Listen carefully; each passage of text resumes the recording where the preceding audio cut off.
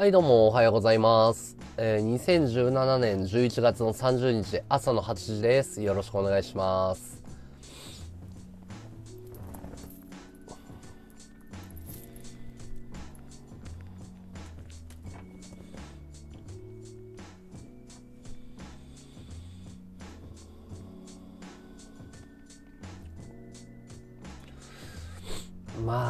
暴言、バリ雑言だな、本当に。全員が全員だとは言わないけど、まあ、7割ぐらいだろうな。うん、玉代さんいらっしゃい。バーコーズさんいらっしゃい。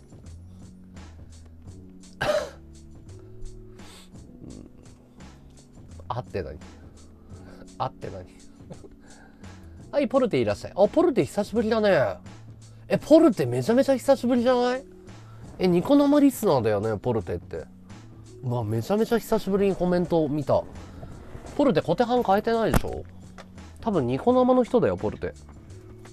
うわ夏。ポルテそうだよね。ニコ生からポルテだよね。カメラアップにしてる。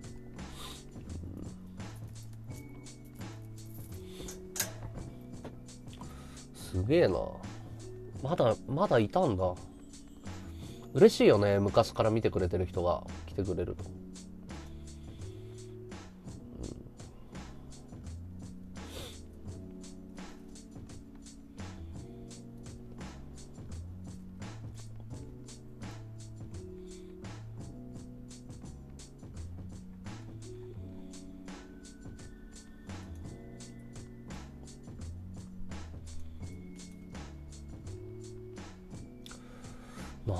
なんだろうそのあ別の人かごめんね。うん。狐じゃないと閲覧増えないだから閲覧が増やすことが目的でやってないんですよ。ラテンモンさん。多分ねそこがね根本的なところ。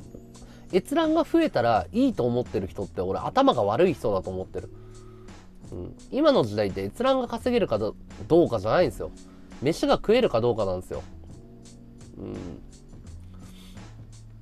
ああ、そうなんだ。うん。ちなみに、あの、半角英数字で184って書くと、俺、匿名コメントになっちゃうからね。うん。俺にしか見えないコメントになっちゃうから。いやいや、面白くないっつうか、なんか、なんていうのかな。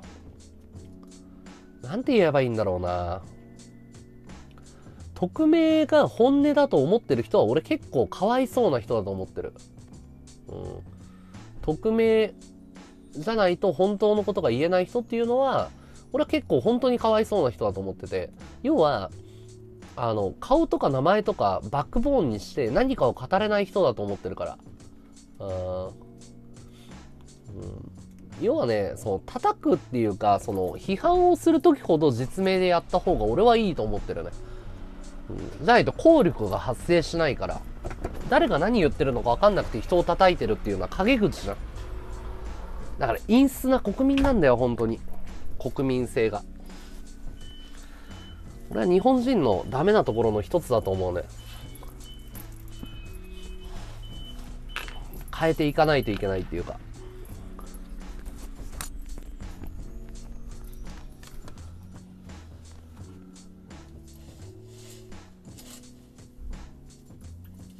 おはよう。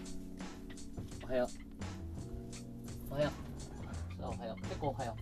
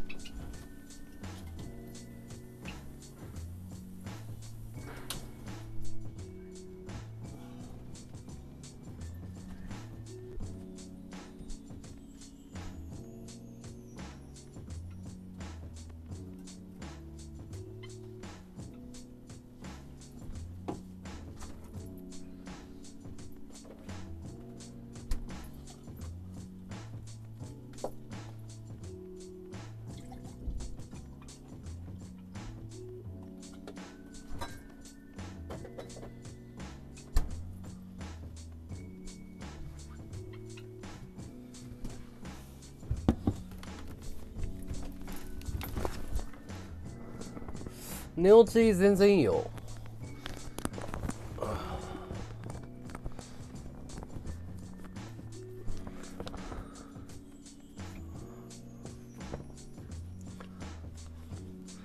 いや和道っていうのも匿名は匿名なんだよ本来の意味で言ったら。ただその人間性関係性を度外視して言いたいことを言いたいっていうのが匿名じゃん。嫌よとかって。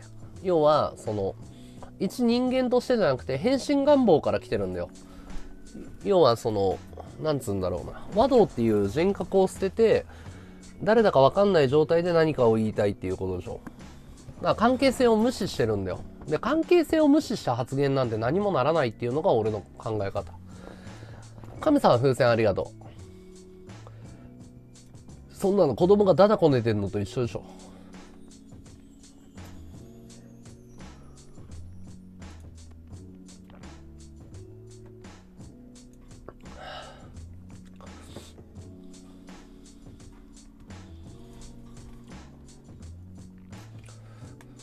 2、窓で見ちゃってた。2つ開いたらね、声がダブっちゃうね。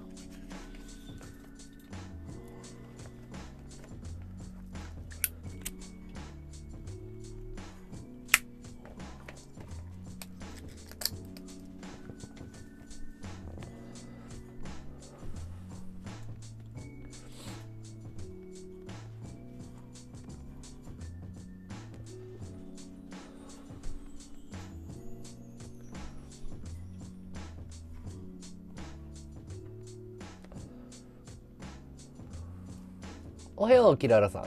おはよ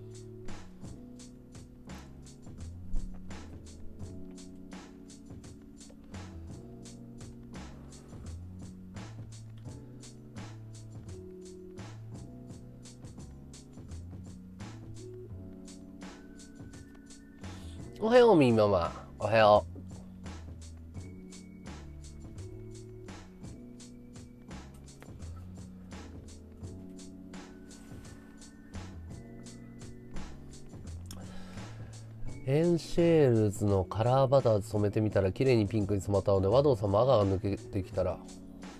おーエンシェールズのカラーバター。カラーバター？抜けやすいんだよねこの。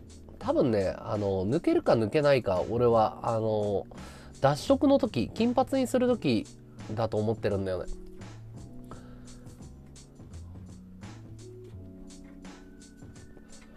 今ホーユーのえっ、とストロベリーレッドっていうのを使ってるかな。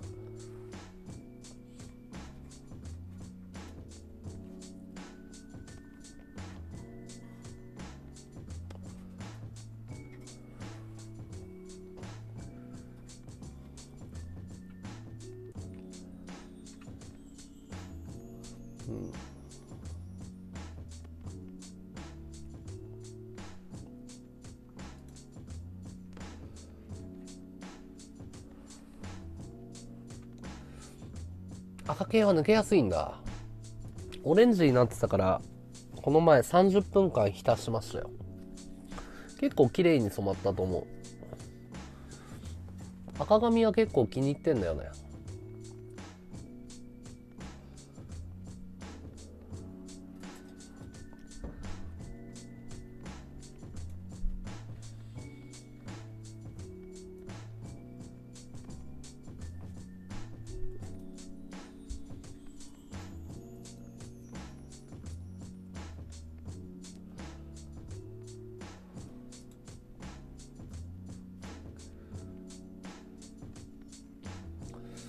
さん赤と黒と白ばっかり買ってますね僕は。赤似合うありがとう。赤好きなんだよね。子供の頃からなぜか赤が好きで。うん。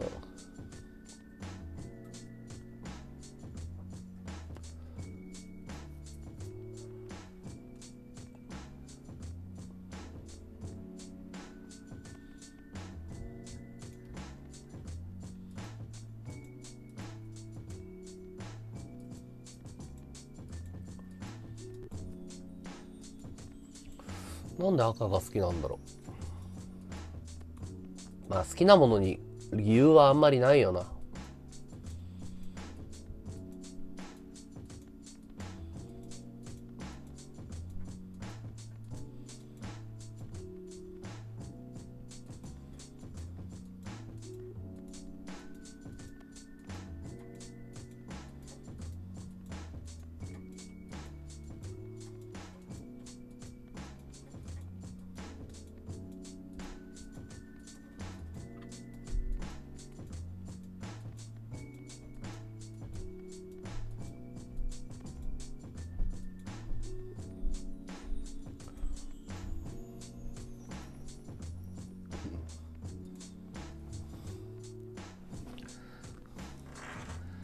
赤って確か血の色だから暖かさを求めてる人が好きになる。ああそういうのあるのかな。うん。どうなんだろう。あるんだろうね。なんか心理学的にその色。黒黒が一番好きなんだよ。黒赤が好きだね。あもう髪の毛が伸びてきてうざったいなと思ってるから短くしようか迷ってるんだよね。思いっきり単発にしようか。でも髪の毛伸ばしたことないからどうしようかすげえ迷ってる。すんごい伸びたかんね。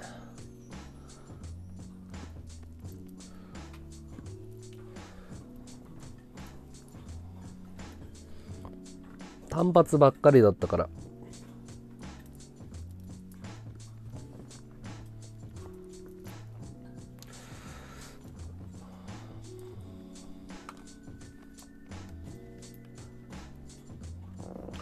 ヒッピーだから切らないのは俺じゃない石野だわ。俺はヒッピーじゃないよ。長くてもじゃもじゃね、うん、パーマかけようかな。どうしよう。俺はヒッピーなのかな。どうなんだろう。初見さんいらっしゃい。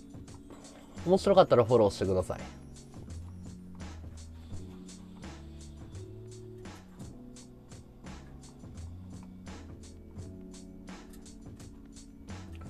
メージはイタリア？いやだってイタリアの男はかっこいいもん。顔立ちが違うもん。おしゃれだし。全然おしゃれじゃないから。イタリアっぽくないしね。思いっきりもう思いっきり日本人の顔だからね。こってこての。ザ日本人っていう。公家顔ってやつだよね。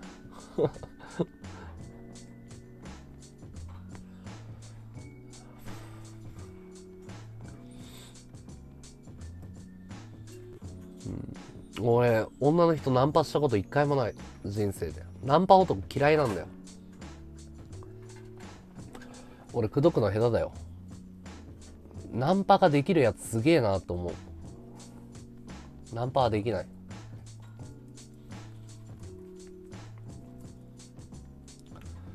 広末涼子に似てるし。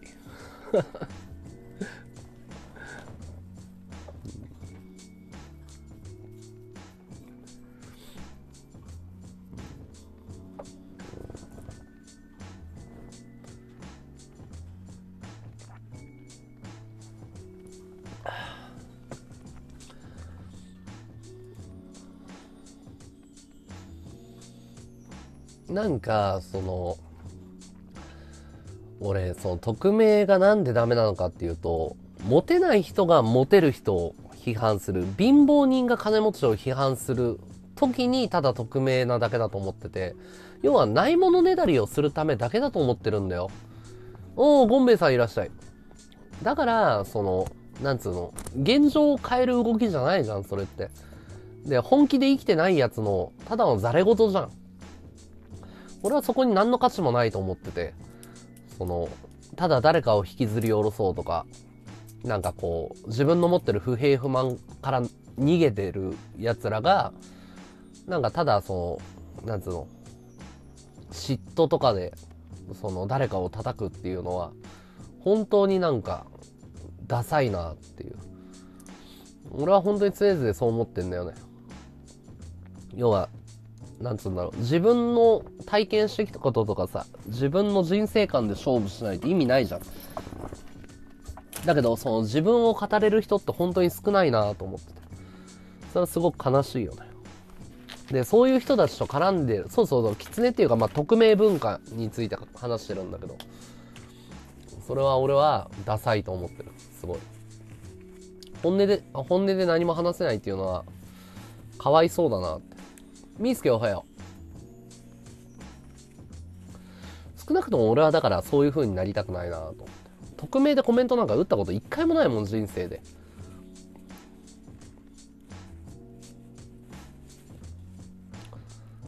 意味がわからない。匿名の。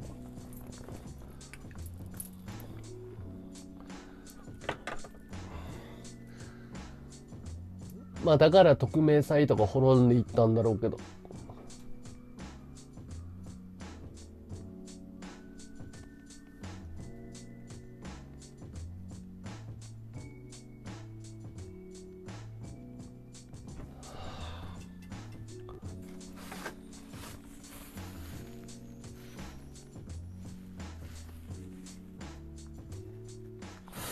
くな。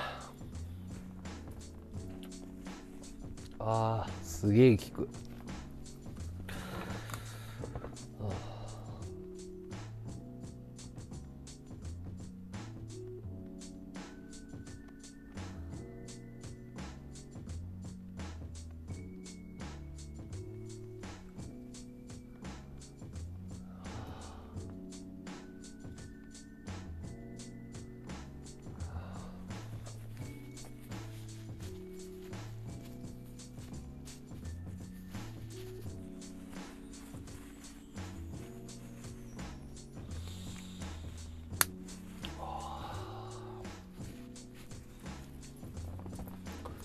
おはよう。アイテムありがとう。おはよう。髪の毛うざいからちょっとジェル塗ってくるわ。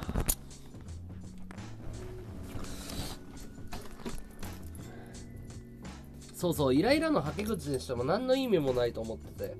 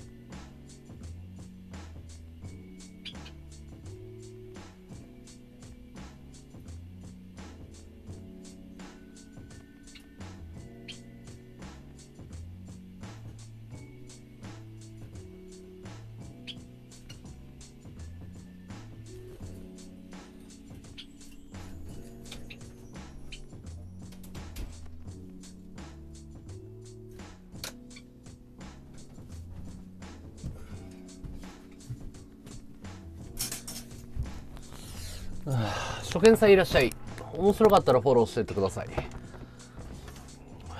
初見中立の意見述べられるのでいいのでは中立な意見を匿名で言えるかどうかじゃなくて、その匿名から何かが生まれるとは俺は思わない。その人の人生の糧にはならないっていうのが俺の考え方かな。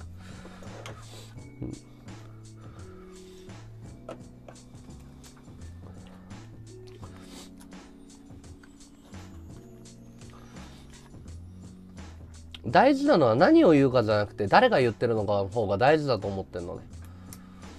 どういう生き方をしてきたかっていう担保が必要だと思ってんだよ。だから日本人はその話の中身が正しかったら正しいと思ってる人が多いと思うんだけど、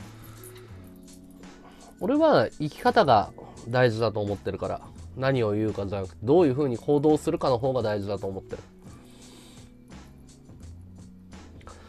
で、生き様が、その、響く人っていうか、正しい生き方をしてる人っていうのは何を言っても人の心を打つっていう。何を言うかじゃなくてどういうふうに生きてるかっていうのを知りたいっていう。何を経験し何を見て何を感じてその上で何を語るのかっていう順番だと思ってますね。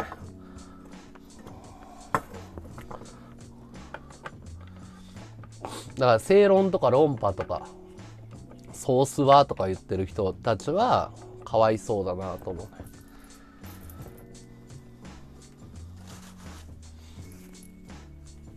いや別にだから匿名じゃなくても質問がバンバン来たら語るんだよ俺は。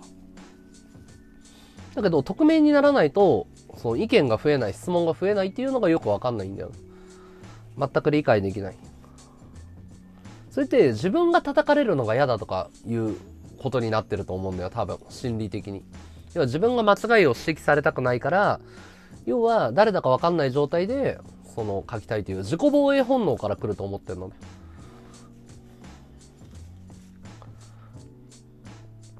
だからその、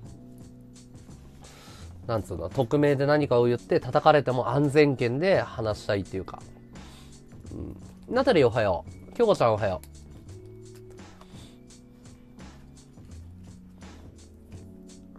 人間の心理としては仕方ないかもしれない。まあ、そうなのかもしれないんだけど、その人本人のためにはならないと思ってる、俺は。その人本人としても、俺の人生としても何の影響もないから。うん。そうそう、価値観は人の経験で変わるし。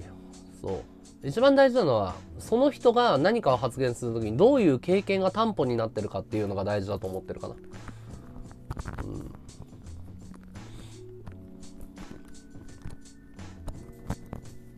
何を経験し何を感じ何を学んでどういう発言をしてるのかっていう。じゃないとリアリティがないんだよ。人の言葉を借りてきたりとかただ思ってることを言ってるだけじゃん。建設的ではないよね。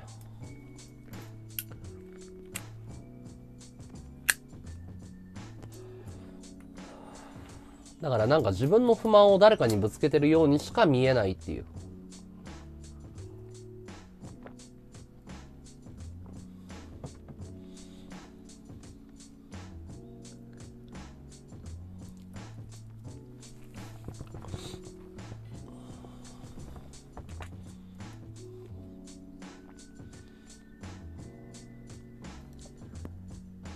おはよう。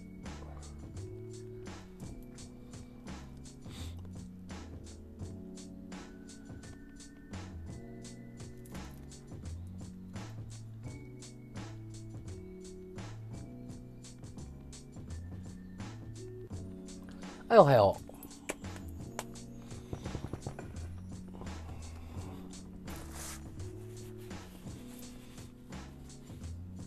う。ん？なんだろうこれってどういうこと？バカありがとう。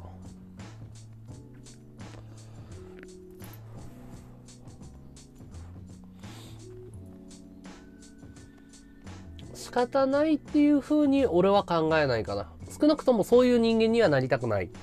そういう人間が多くいるのはわかるんだけど、そういう人間には、の考え方は俺はいらないっていう判断をしてるね。うん。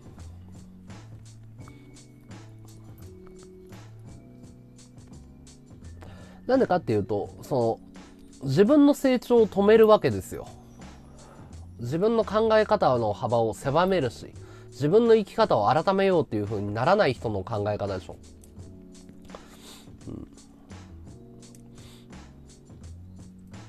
うん、もったいないよね。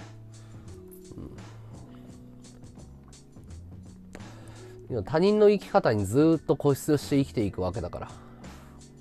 他人の人生に文句言ったところ自分の人生なんか1ミリも変わんない。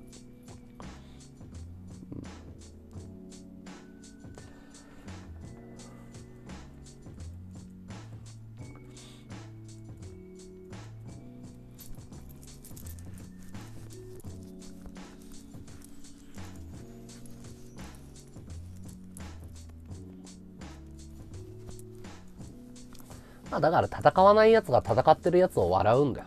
うん、戦う君の歌を戦わない奴が笑うんだよ。カメラの位置変えたらちょっと近くしようと思って遠すぎたかなと思って。表情があんま読み取れないと思ったから、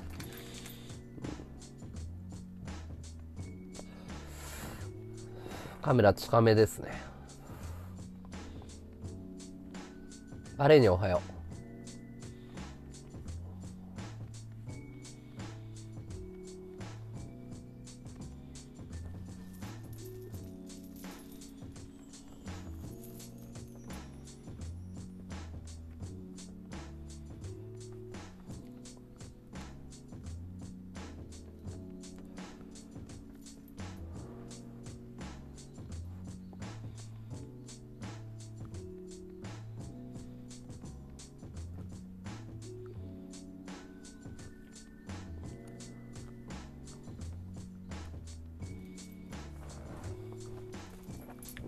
あ、の、前髪うざいからオールバックにしてるだけ、今。ジェル塗って。髪型変わったわけじゃないよ。流してるの。髪の毛伸びてうざくてさ、前髪が。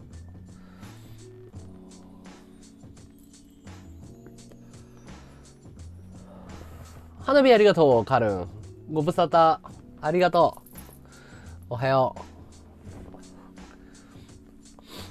う。忙しかったカルありがとうね。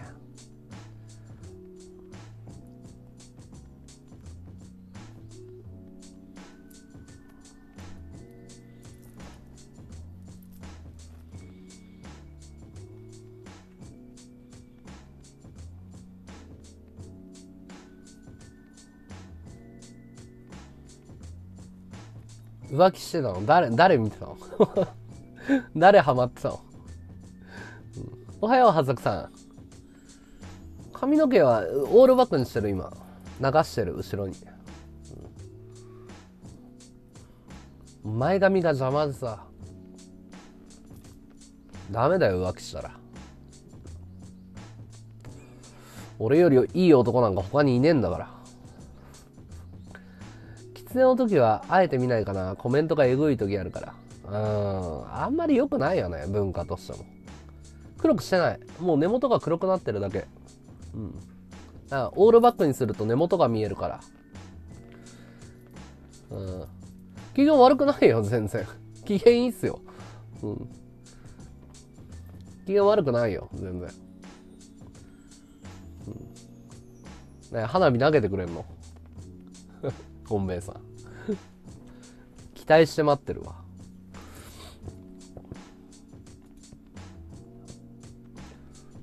今月もお疲れ。本当だね。12月ラストスパート頑張ろう。ね。今年も1年。来年は走るよ。来年から YouTube に力入れようと思ってる。うん、えー、和道さんの考えには賛同できますが、信仰心が絡むと余計に価値観は難しいものになります。信仰心の話してないかな、今。ありがとう、ミスケイ。花火ありがとう。ありがとう。メガホンも大歓迎ですよ。うん。ニコ生経験者でもキツネって苛立つ。苛立ちはしないかな慣れてるから。別に何にも思わないけど、何の生産性もないと思ってるね。ペコポコランドさん、ありがとう。うん。生活かかってます。はい。花火で飯食ってんで。うん、生活かかってますよ。メガホンありがとう。うん、黒髪になったわけじゃないよ。もう伸びただけ、この部分。もうこんくらい伸びてるから、黒い部分が。多分ね、あの、ブリーチしたのが沖縄が最後だから、沖縄から3ヶ月でこんだけ伸びたんだよ。黒い部分が。オールバックにしてるだけだよ。そろそろ染め直さないとな。根元も金髪にしないと。メガホンありがとう、京子ちゃん。苛立ちはしないんだけど、ニコ生のコメントだろうが、匿名だろうが。ただ、俺がいる場所じゃないなっていう。うん。それは毎回感じる。あ、俺ここに関わってたら、考え方がすさむし、生き方間違えるなと思ってて。うん。だから、やっぱり環境が人を育てると思ってるから、ああいう環境で自分を作りたくないっていうのは思う。あー、首かしげてたんだ。へえ。のんちゃんすごい花火師だよな。いや別にのんちゃんすごい花火師でもないよ。ニコ生で配信を学んだっていうのは俺にとって良かったと思ってて。あの配信のノウハウであったりとか、トークの組み立て方とか返しとか全部学んだから、ニコ生で3年間やってたことは誇りに思ってるね。あとニコ生で実績を出したっていうのは。じゃなかったら今の俺はなかったから。だニコ生が嫌いなわけじゃなくて、サイトの運営方針が合わなかっただけだから、うん、ニコ生のリスナーさんが悪いとは思ってない。運営と、運営さんとの考え方が俺は合わないなと思って。で、ふわっちはすごく運営さんが人が、なんつうの、本気でその配信を変えようっていう風に取り組んでいて、えー、対応も丁寧だし、で、毎月毎月ちゃんとイベントをやるし、うん、すごくこのサイトに可能性を感じてて、うん、伸びるところでやりたいなっていうのが俺の考え方。何友倒れになるからね。ニコ生に固執する理由はない。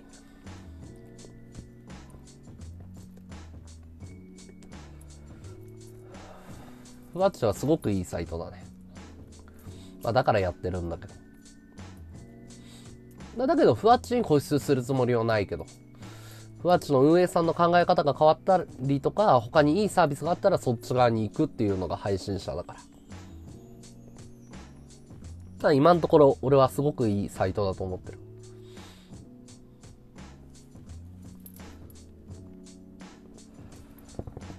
ここでえっ、ー、と、活動をしたいなって思えるサイトだね。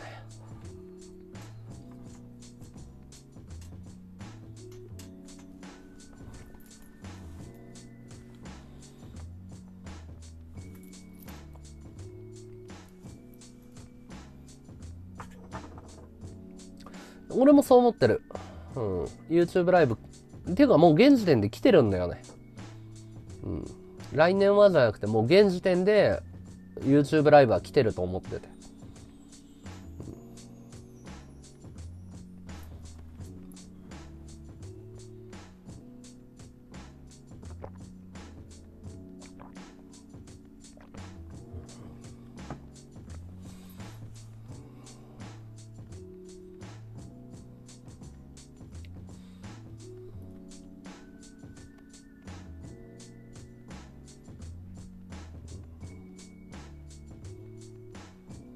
だから、チャンネル登録1000人超えてよかったなと思ってるよ。あの、1000人以下の人は投げ銭システム使えないからね。スーパーチャット使えないから。積み上げてみんなのおかげでフォローしてもらってるおかげで。YouTube 今1100人ぐらい。1150人とかかな。一応ハードルはクリアしたから。1000人チャンネル登録って結構ハードル高いのよ。おお、そうそう、おはよう、今日もよろしく。おお、かんないいらっしゃい。髪型はオールバックにしてるだけだよ。短い方がみんな好きなのかな短くしようかな。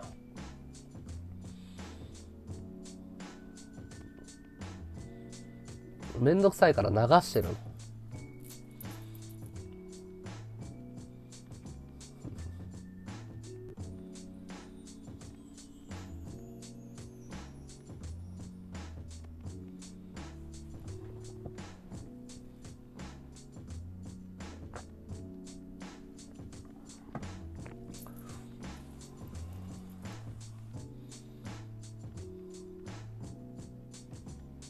うん。切った方がいい？うん切ろうかなじゃあ。ちょっと迷ってるね。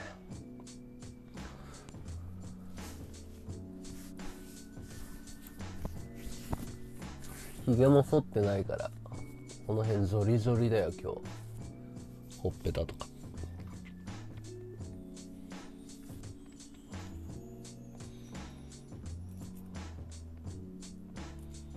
メガネがずれるんだよなこれ。メガネ変えてえな。でももう目悪くてもこのこの距離でコメント見えないからね。乱視がきつくて。あありがとう。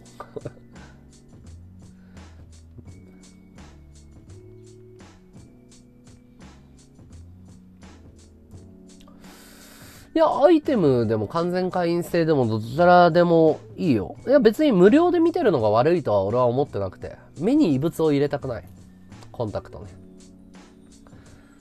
俺はね、あのー、無料で見ることを批判してるわけじゃないの。ただ、無料で見て出しゃばるなっつってんの。うん。アイテム投げないやつほどズうずうしいっていうのが俺の考え方だから。うん。だから別に会員制じゃなくていいと思ってる。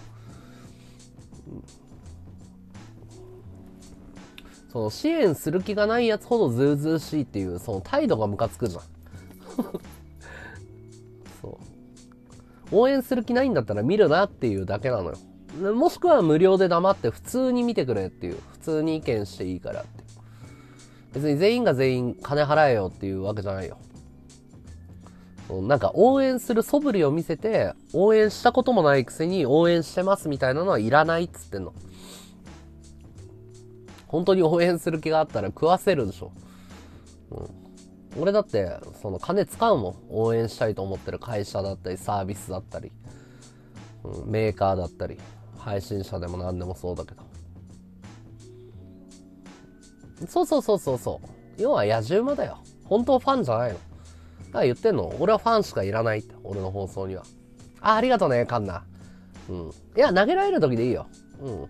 そんな無理して、ね、あの花火なんか投げるもんじゃないから、うん、ありがとう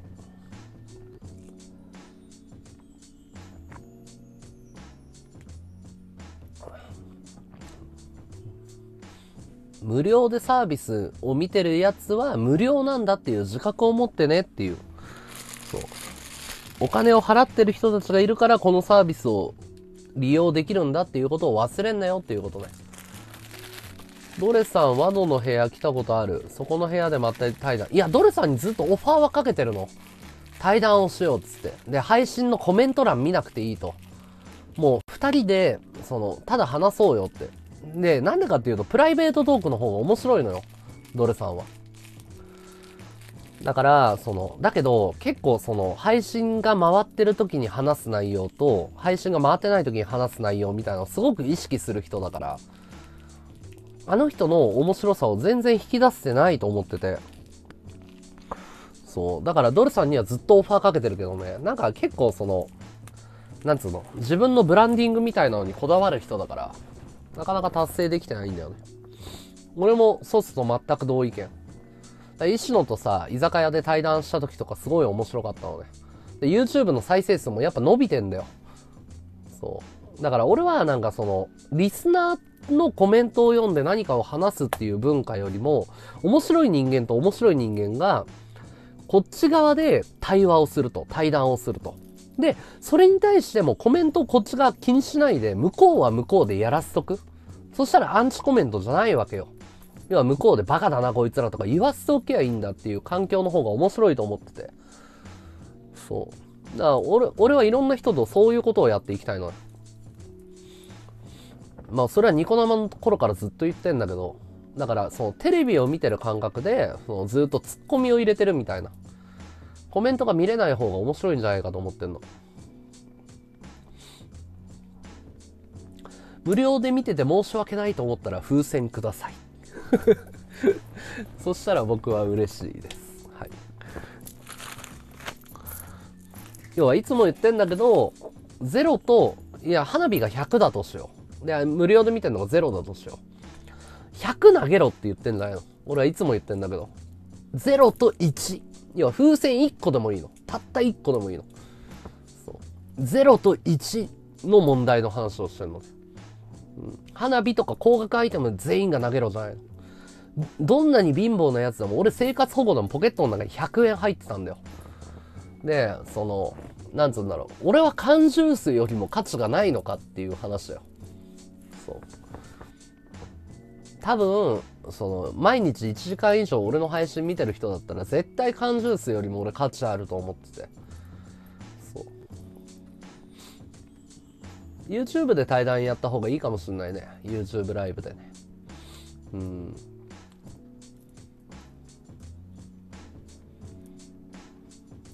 ちょっともったいないよね。はい、おはよう。バカありがとうございます。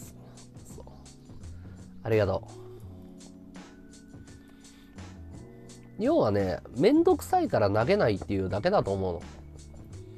誰でも100円ぐらい持ってんだよ。1000円ぐらいウェブマネー買えるんだよ。誰でも。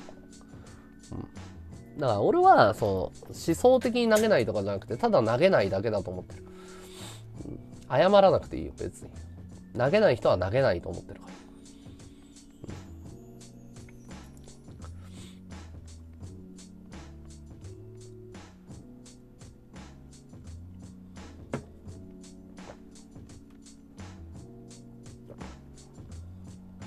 あ、受け取り側の問題はある。あ、でもね、石野がすっごい成長してて、石野とこの前コラボしたでしょ。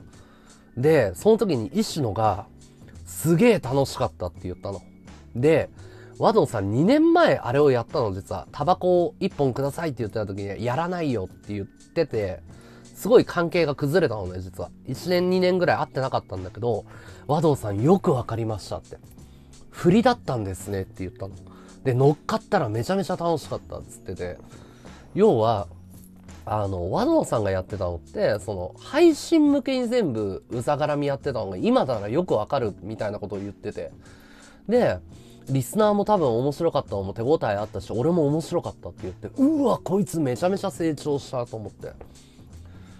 その、いい意味で配信者になってて、うん。それ感動したね、ちょっと。2年前伝わらなかったことが、やっと伝わって、うん。いよ、潜って潜って。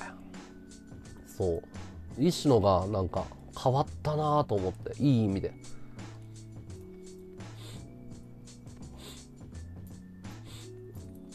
はいよ。はいはい。じゃあね。うん。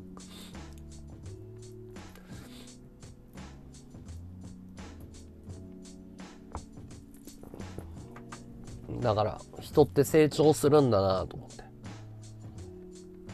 すっげえ嬉しかったし、石野は才能あるから、要は、全部振りに応えてたっていうか、うん。それってプロじゃん。仕掛け側に回ったわけじゃん。うん。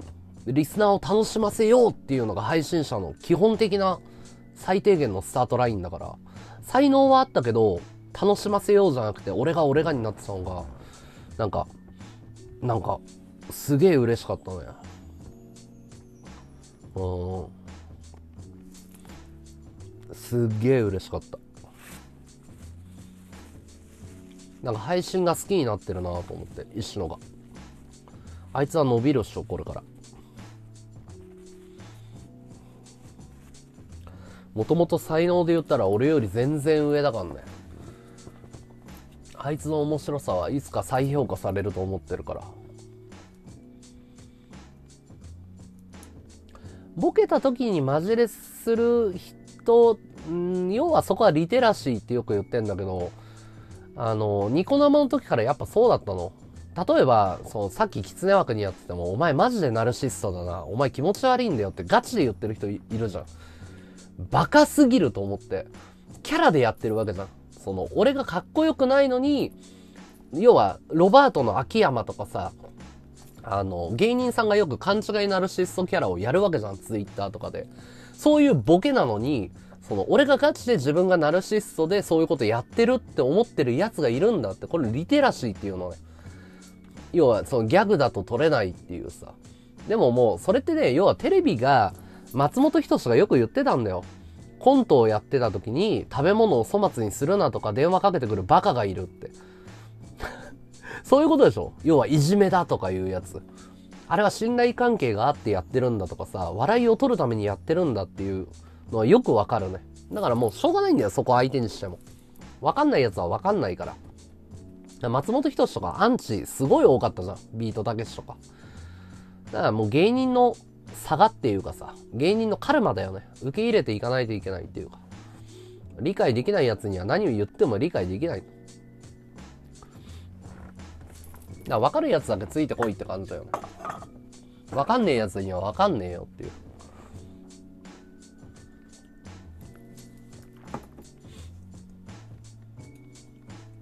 俺はそこのスタイルみたいな。全然変える気ないね。わかんねえやつはわかんねえっていう。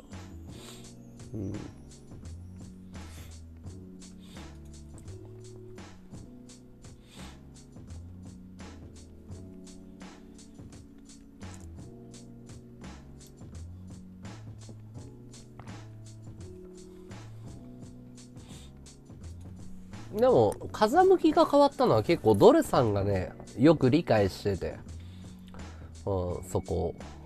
ドルさんがね、解説をしてくれて、だいぶ、ああ、なるほど、みたいな。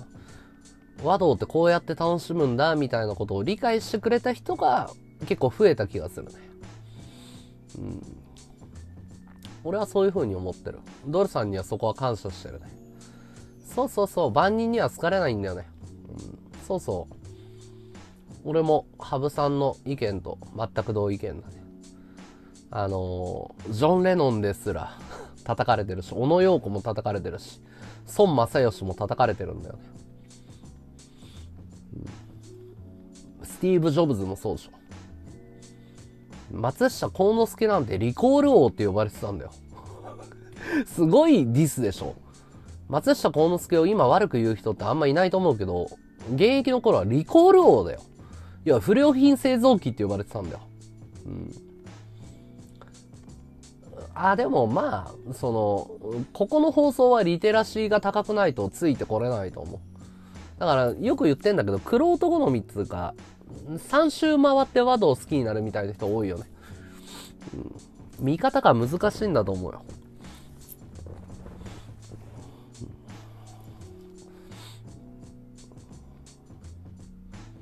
その理解する。要は、その、わかりやすいボケじゃなかったりするから、インパクトも薄いから、じわじわじわじわ聞いて、遠赤外線みたいな配信だから。岩盤浴とか。後から聞いてくるから。うん。小野洋子みたいな顔。小野洋子みたいな顔。多分、小野洋子みたいな顔って何？小野洋子？小野洋子みたいな顔してどんな振りだよ。なんだよ、小野洋子って。え？なんだよ、小野洋子って。雑だよ、振りが。殺す気か、俺の配信。やめとけや、お前。振りがきついわ。最初和道さん見た頃どっちかっていうとアンチな感じだったけど何回見ていくうちに好きになった。だから理解するのに時間かかるのよ、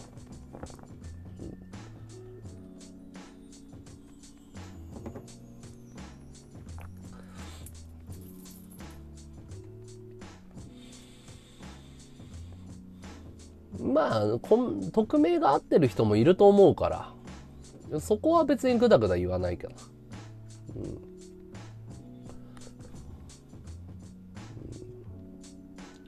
あ、潜りきれなかった。なかなか深い言葉で、潜りきれなかった。ついコメント書きたくなっちゃう。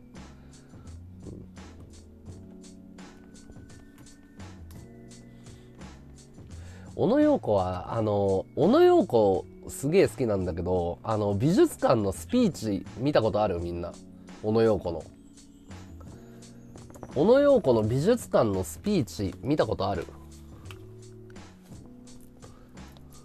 もうね、俺本当に世の中に天才っているんだなって思って、小野洋子の大ファンになったのね。ちょっと見せるか。待ってね。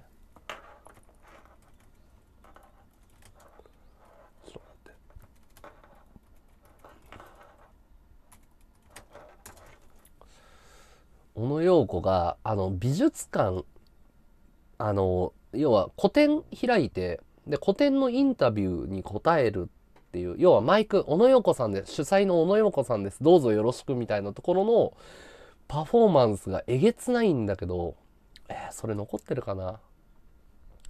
あ、なくなっちゃったのかな？あれは何回見てもね、笑うんだよね。えーっとね、いや、なくなっちゃったかもしんない、小野洋子の。えー、マジか。あれ最高だったのにな。見たい？ちょっと待って。あー、マジか。ちょっと待ってね。小野洋子。えー、小野洋子のなくなってる。マジか。あれ永久保存版だったのに。小野洋子。ちょっと待ってね。いや、小野洋子めちゃめちゃすごいよ、あの人は。ぶっ壊れてるとかいうレベルじゃないかんね。うわ、亡くなったんだ。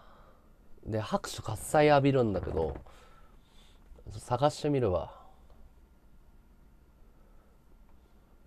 ねえな。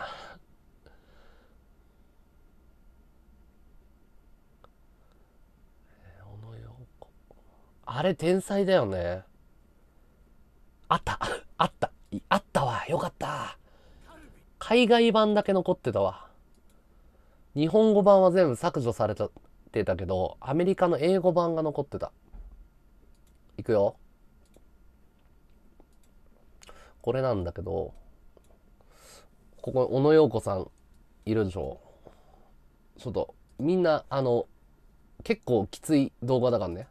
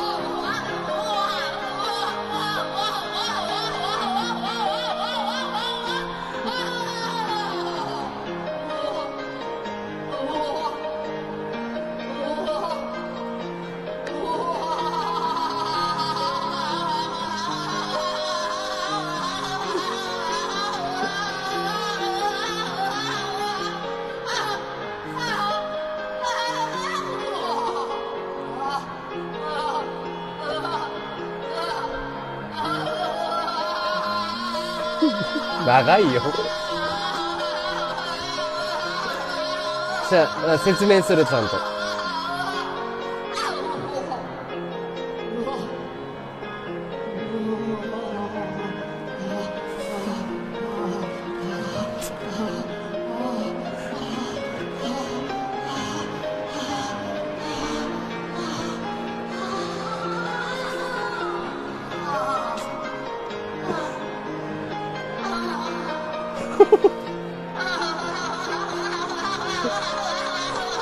長いって。長いよ。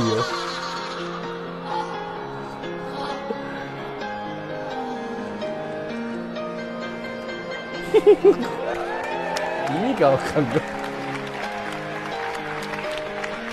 あのね、これ、本当のバージョン音楽ないから。これ外人さんがカバーで曲でピアノ入れてるだけで、本当は無音なの。本当はピアノのバックなしでずっとあーあーあーあーってずっと言ってるだけなの。すごいでしょすごいでしょ小野洋子。それはジョン・レノンも惚れるわっていう。泣けるやん、つって。いやー、本物天才だと思うよ、やっぱり。小野洋子は。いや、シュールとか、もう、なんつうんだろう。すごいよね。ジョン・レノン、ジョンもびっくりするわな。すごいんだよ。だからもっとキーンとした空間であれをやってんの。いや、だから歌ってるつもりじゃないのよ。うん。いや、何でもありでしょ。だあれが、要は、その古典に来てくれた人、自分の古典に来てくれた人へのマイクの挨拶の。要は、小野洋子さん、それでは古典に来てくれた方へ主催からスピーチをお願いします。みたいな振りがあって、ファンの前でいきなり、ああ、ああ、ああ、ああ、ってなっちゃったの。で、2分間続けて去っていって拍手喝采っていう。そう。だから、何これみたいな。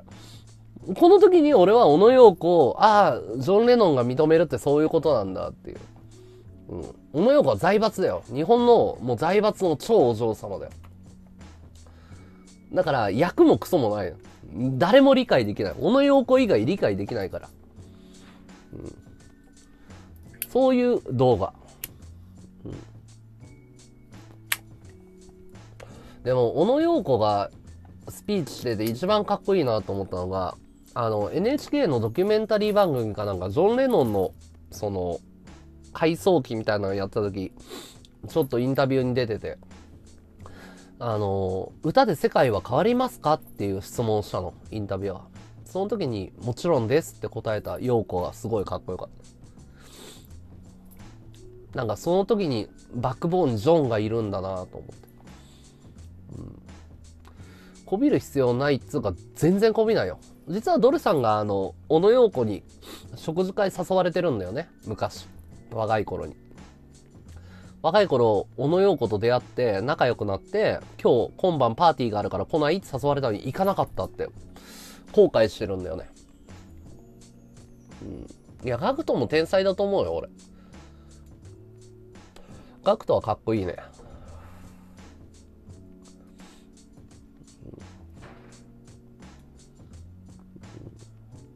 もったいないよね。ドルさんそういうところに見え張るタイプじゃないよ。伊達に54年間生きてないよ。じいさんはどつ。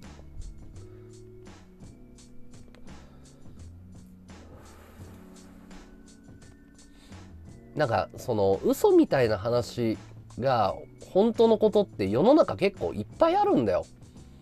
なんかネットだけに生きてたりとか地元の田舎の方に住んでたら信じられないようなこととかいっぱいあって本当に孫正義さんの先輩の話とか孫さんがその学生時代そのなんつうの兄貴分っていうかさそういう人とかに話聞いたけどリアルさが全然違うのよ。その孫さんの話とか。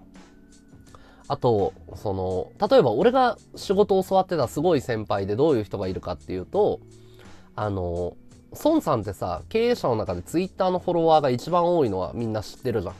数百万人いるわけですよ、フォロワー。で、孫さんって100人未満しかフォローをしてないの、ツイッターで。で、その若手で注目してる人、孫さんがツイッターでフォローしてる人って、この人が日本の世の中変えてくれるみたいな人しかやってないんだけど、その中の一人の人に、俺、先輩直接いろんな話を聞かされてたのよ。あって。だから、その嘘みたいな話なんだよ、本当に。ワンピースみたいな。普通の人が聞いたら何言ってんのみたいな。でも世の中ってそういう風にできてるのよ。そう。だから信用するとかしないとかじゃなくて、その、ちゃんとリアルを見てるかっていうか、その世界にいるかっていうのはすごく大事だよ。ちゃんとその経験してる人に話を聞くかどうかっていう。うん。ナタリーいらっしゃい。世の中にはすげえ人がいっぱいいるんだよ。で、言ってたもん。やっぱその19歳だった頃の孫さん。要はアメリカに留学した時の孫さんの話聞いたけど、香港であったらしいんだけど、正直経営者として体制すると思わなかったって言ってたの。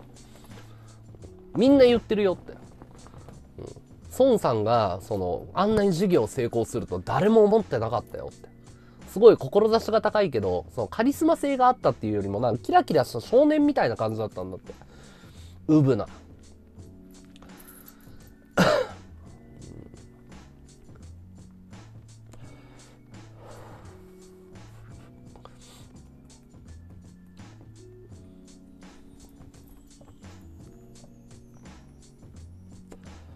だから住んでる世界が違うとかいう言葉あるけど、本当にそれはあるよ。同じ地球に生きててこんなに価値観違うのかみたい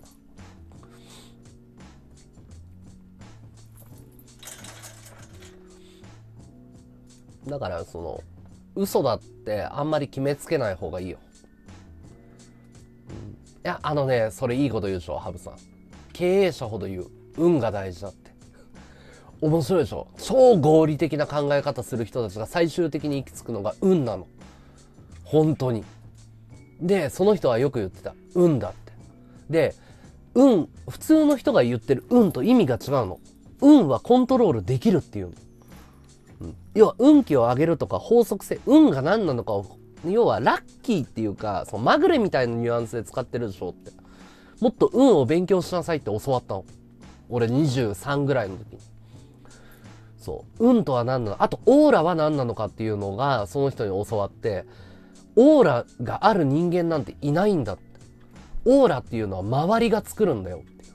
要は、何でもないホームレスのおじさんをスーツを着させて、ビット、車、高いフェラ、うーん、なクライスラーとかに乗せて、ね、SP10 人ぐらいつけてごらんって。で、周りがこの人すごい、この人すごいって言ってごらんって。その人何でもない人なのにオーラが出る。だからオーラって何なのかって周りの人のリアクションなんだって。取り巻きの。そう。だからオーラのある人間なんていなくて、人に好かれたりとか、その、その人にすごいと思われるような印象を持ってもらえるように動いていくと、どんどんどんどん勝手にオーラが増していくって教わった。殺しにこさん、アイテムありがとうございます。うん。そう。オーラのある人なんかいない。オーラは周りが作るんだって。要はそれをカリスマ性って言うんだろうね。うんだから、経営者ほど験担ぎとかを結構占いに凝ったりとか、そう、熊手を高いの買ったりとか、どこどこで祈祷するみたいなのよくあるんだ。あれは、その、運にこだわってるからなんだよ。誰かと握手するのをこだわってる人とかよくいるよ。だから、あの、カバン持たれるの嫌な経営者とかいた。すっごい成功してんの。40歳で数億持ってて。その、カバン、で、その人が言ったのが、カバンを人に触らせるのが嫌なの。なんでかっていうと、俺の運気取られるから、っつって。で、その人俺にカバン触らせてくれて。そう。あの、これ、握ってみろ、っつって。お前運気上がるから、っつって。意味がわかんないでしょ。もうオカルトの世界じゃん。そう。でも、そう、そういうのがすごく大事なんだって。俺は運がいいって言い切れないと、やってけねえ世界なんだよ、みたいな。うんそう。そう、未来はわかんないから。だから、その、本当に運とかにシビアだったね。運気とか、運の悪い人のところ。だから、その、あの、歌舞伎町みたいな、その、俺、世界的なモデルのリスナーさんがいたのよ。で、その人に言われた。あの、こういうところには本当は行っちゃいけないんだ、俺はって。その、水場って言ってたかな。なんかその運気が悪い人たちがたまる街には行っちゃいけないんだって。俺は好きなんだけど。いや、それくらい、その、敏感だから成功できるんだよ。それくらい普段気にしてるの。そう、そうなんだよね。だから、そう、笑顔であったりとか、運って何なのかっていうと、笑顔であったりとか、そう。あと、お金じゃなくて富を追えって教わって。その富って何なのか知ってるって言われて。そう。みんなお金を求めてるでしょって。だからお金に嫌われるんだよとか。あと、お札の向きを整えるとかあるじゃん。本当に気にするよ。長財布を使うとか。よくジンクスいろいろあるでしょ。要は、しおれた札を使ってるやつが金に好かれるわけがないとか。うん。ああ、バッグ持たれるの嫌いなんだ。うん。そう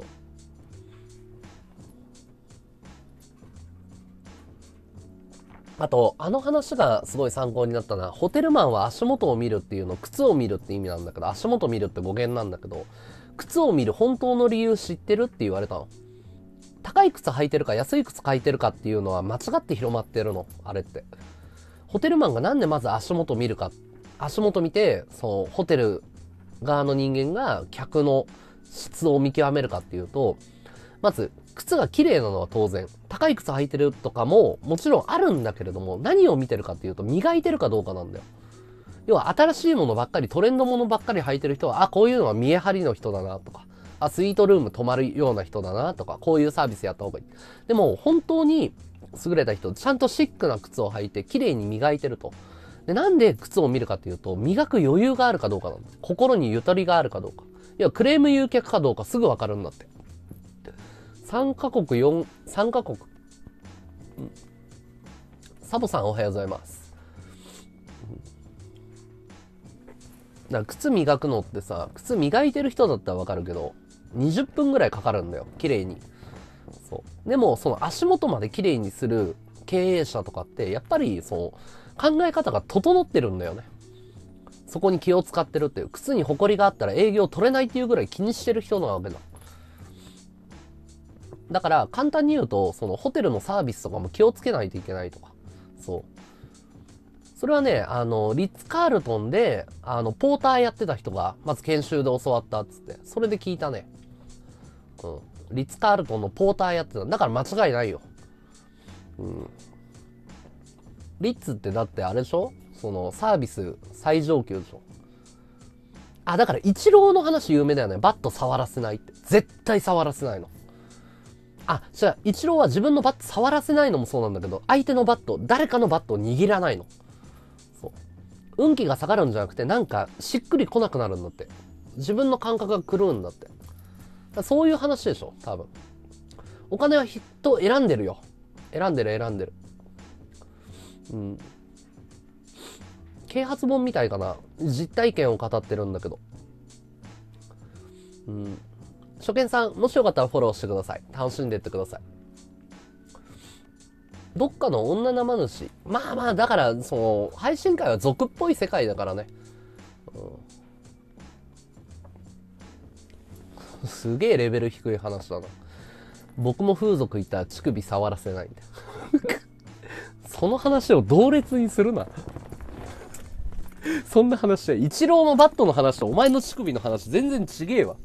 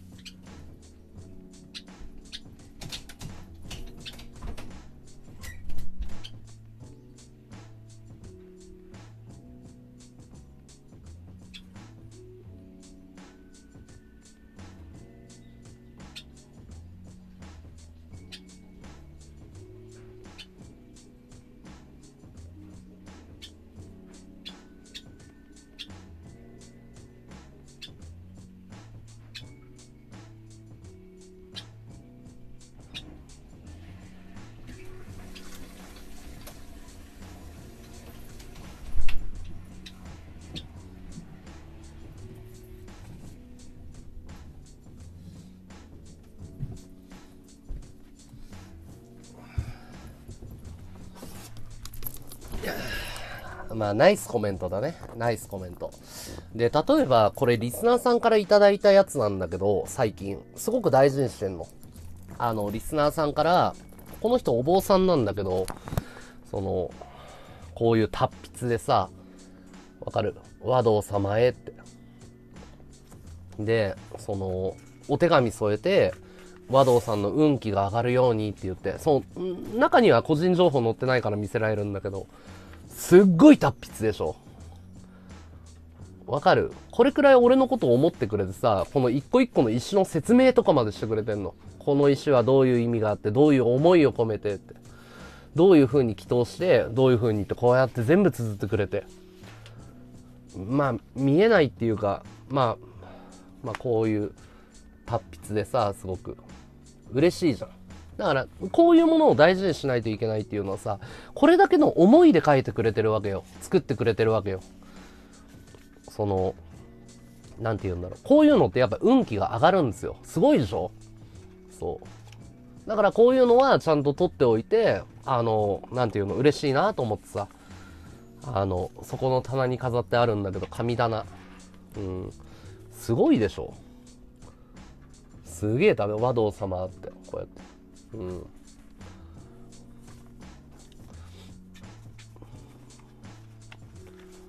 嬉しいよね。そう。だって今のご時世でさ、筆でさ、その、なんつうの、筆を取るっていうのってなかなかないんじゃない？嬉しいよね。その今何してんのってくる LINE とは大違いなんだよ。うん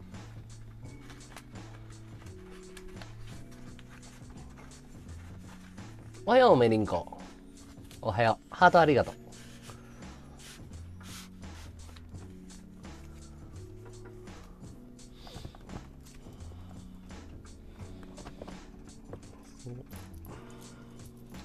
ありがたいですよ。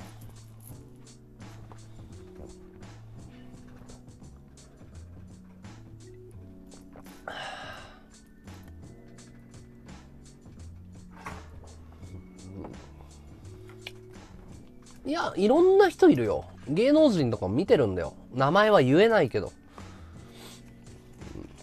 リスナーさんで芸能人の人とかもいるのよ。うん。和道に花火上げると運気上がるような。あ、上がるよ。風船ありがとう。上がるよ。うん。上がるよ。それはちゃんと説明できる。俺は。そうそう、あの、冗談抜きで俺に花火上げると運気上がるよ。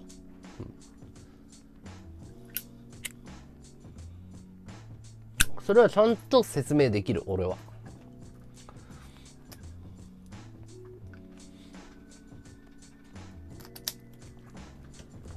いや笑うでしょうん、いや、これはね、ソソね、冗談半分で言ってるけど、これ意味分かってるんだよ、ソソは。風船ありがとう。あのね、これすごく大事なことなの。ソソは冗談で言ってるけど、これ本気で言ってるんだよ。メガホンでも上がる。上がる。断言できる。上がります。これね、すごく深い話なんだけど、あ、みんな風船ありがとう。これね、あの、ダメな人ほどギブアンドテイクを狙うの。びっくりするでしょ ギブアンドテイク当たり前じゃん。世の中って。でも、本物はギブアンドテイクなんか関係ないの。ギブしかしないの。本当にできる経営者って。これ、あの、奥義なんだけど、俺が教わった。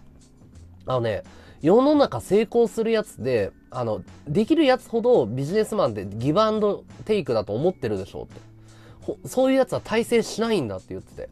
10年、20年って長い目で見たとき、成功するやつはギブ、ギブ、ギブだって。本当にそういうやつが成功するって。ギブ、ギブ、ギブ。で、ギブアンドリターンじゃ、あの、ギブアンドテイクじゃない、ギブアンドリターンなんだって言ってるの。ギブアンドリターン。これ意味わかる？ギブアンドテイクじゃなくてギブアンドリターン。ギブ、ギブ、ギブ、アンドリターンだって。これがその、なんつうの、サービスの本質なんだっていうことを言ってた。ちなみにこれを言った人、上場企業2社作ってるからね。生涯で。説得力が半端じゃないでしょ。うん、1、サラリーマンから上場企業2つ作ってんだよ。末端から。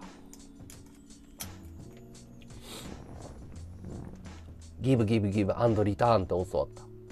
要はギブアンドテイクっていうのは渡した本人から帰ってこい。それが対等の付き合いだっていう態度。えっ、ー、と、上田宗明さん。うん、上田さんっていう人。多分みんな知らないと思う。聞いたことないでしょ。上田さんっていう人。で、あの、リターンっていうのは、ギブ、与え続けることによって、知らないどっかから考えもしないところから返ってくるんだって。いや、本人から返してじゃないのよ。与え続けることによってでっかいものが世間みたいなものとか、そのエンジェルって言ったらいいのかな。要は、噂が噂を広まってみたいな、もうすごい時間がかかるし、10年、20年、30年ってかかるんだけど、そういう人が言ってたのは、その努力っていうのは人生の尺度で考えたら、トントンになるって言ってたね。努力はみんな短期間で言うんだって。3ヶ月とかその日とかで。努力実らないって言ってんの。だから努力しなくなるって。でも努力を続けてる人間って10年、20年とか一生涯で見たら努力した分全部返ってきてる。だからみんな短いスパン。悪いことするやつは40歳で、40歳ぐらいで20年間ビジネスやって悪いことしてるやつ絶対捕まってるっていうの。みんな刑務所行ったっつってたもん。そう。だから2年とか3年とかだとごまかせるんだけど、世間様が許さない。人は見てるとも言うし、それを神と呼んだんだよ、昔の人は。うん、セレブがね、寄付活動してるのはね、あの、ちょっと税金対策の側面があるから何とも言えないんだけど あ、そうだよ。金持ちほどケチが多いのは本当だよ。うん。あのね、それ意味、ケチって判断するのは間違ってるんだけど、金持ちは価値を考えるって教わった。だかケチに見える。要は100円のものとか100万円のものとか値段で考えないの。100円が110円の価値があるか、100万円が110万円とか200万の価値があるかっていう、なんつうの？目を持ってる人だから価値のないものは100円だろうが何だろうが買わないっていう人だから投資に成功するのよ。その価値がどれくらいあるのかっていう物事の本質みたいなものを見る人たちだから。だから、そう、100円のものとかで悩んだりするのよ。だから周りからケチに見られる。価値のあるものにしかお金を使わないの。だから価値があると思ったらとんでもなく金払うのよ。ケンメリさんはね、多分そ、そこ、そこだと思うよ。俺、だから億万長者いっぱい見てきたけど、やっぱ本当に、その、価値があるかどうか考えるもんね。見る目がある、そうそう。そう、無駄なものに金を使わない。逆に、その、なんつうんだろうな。逆に子供時代貧乏で成り上がり系の人は見え張るからバンバン使うの。要は、ロレックスつけてんだとか、スーツはアルマーニとかいうタイプは成り上がりの人が多い。うん。人生ギブアップ。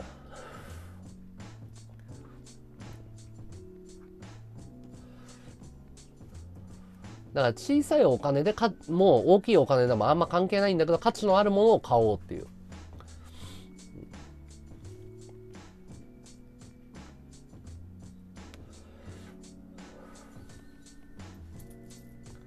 ギブアンドギブ。ギブギブギブ。とにかく与え続けろって言われたね。で、まあ風船の話に戻るんだけど、要は、俺みたいな、要はただの無料で見れるものにアイテム、こいつ好きだからアイテム配ろうって、生き金を使える人なんだよ。わかる？そういう人が成功しないはずないじゃん。わかる？自分の食いぶちを自分が得しようじゃなくて、いや、俺は余裕がある。心の余裕があるわけじゃん。その、だから成功するって言って運気上がるよっていう。だって、俺にやってるってことは周りにやってるんだもん。人から好かれる人に決まってるじゃん。で、アイテムを人には与えない。俺だけ良くしよう。で、文句は言う。そんなん嫌われて行くに決まってるじゃん。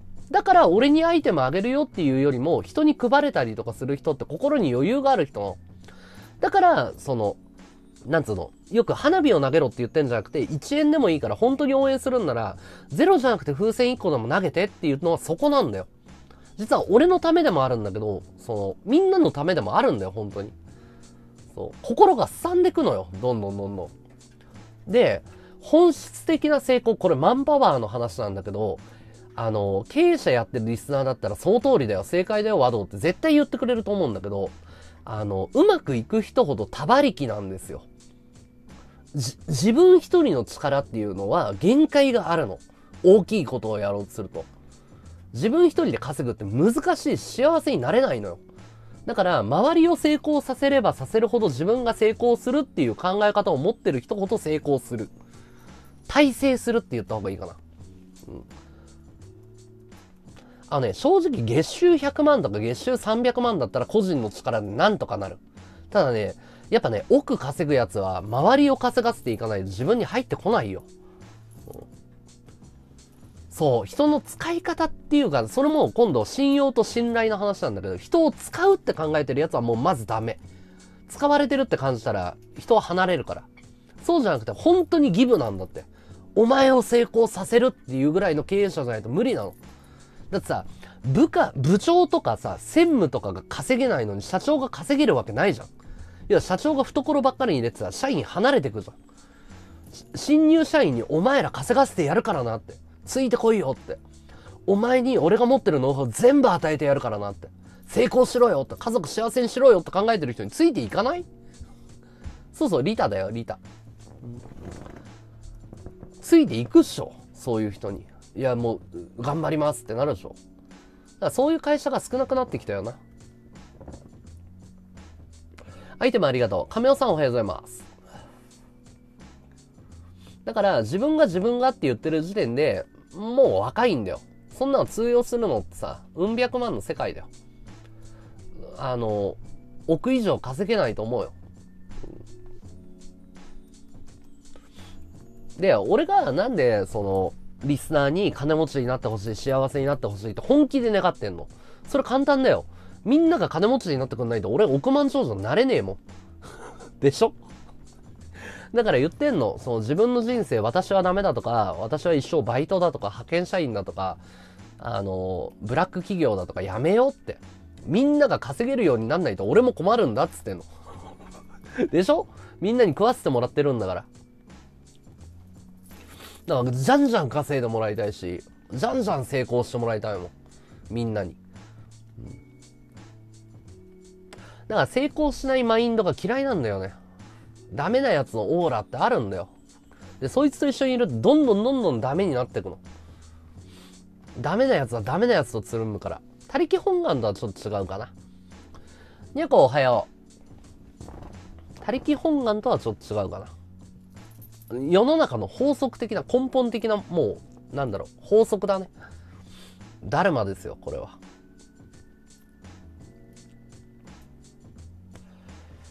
あのね活用なんだよね人のことを活かせるかどうかなその人を生き生きと輝かせることができる人が上に立つ人なんだよ本当に上に立つっていうか立つつもりなくても自然とどんどん人が集まってくんだよね輪の中心にいる人っていう感じかなまあ、クラスターとかいう人だね。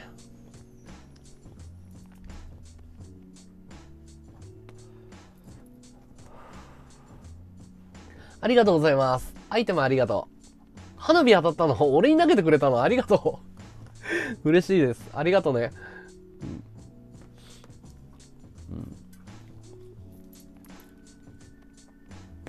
うん、めちゃめちゃ嬉しいです。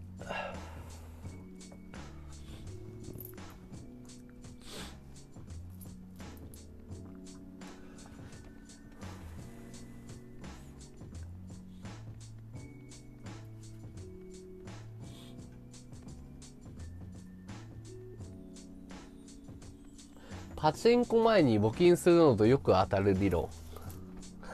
どうなんだろう、それは。いや、確率の問題的に言ったら別に、どうなんだろうね。験担ぎでしょ。うん。ありがとう、バーガーありがとう。うん、パチンコ前に募金すると当たるんだ。おお。それは、どうなんだろう。うん。ええ話や、大花火ありがとうございます。ありがとうございます。いや、もう、やっぱり響くよね。そういう、だからね、みんなね、時系列を間違えてて、金持ちがそういう考え方に至ったと思ってるんだけど、逆なんだよ。考え方が伴ってるから行動に移して、行動が伴ったから結果が出るっていう順番の方が正しいのよ。アイテムありがとう、絵の具ありがとうございます。おはようございます。そう。要は、心が変わればっていう有名な、あの、あるんだけど、お、カズくんさんいらっしゃい。カメラアングルっつうか、カメラを寄せたね。あの、心が変わるから行動が変わって成功するっていう風に考えた方がいいよね。成功したから考え方変わるっていうのは偽物なんだよ。そういう人間って引きずり下ろされんのよ。結果が伴わなくなるの。パチ屋は店に入ってカメラ見ながら一礼。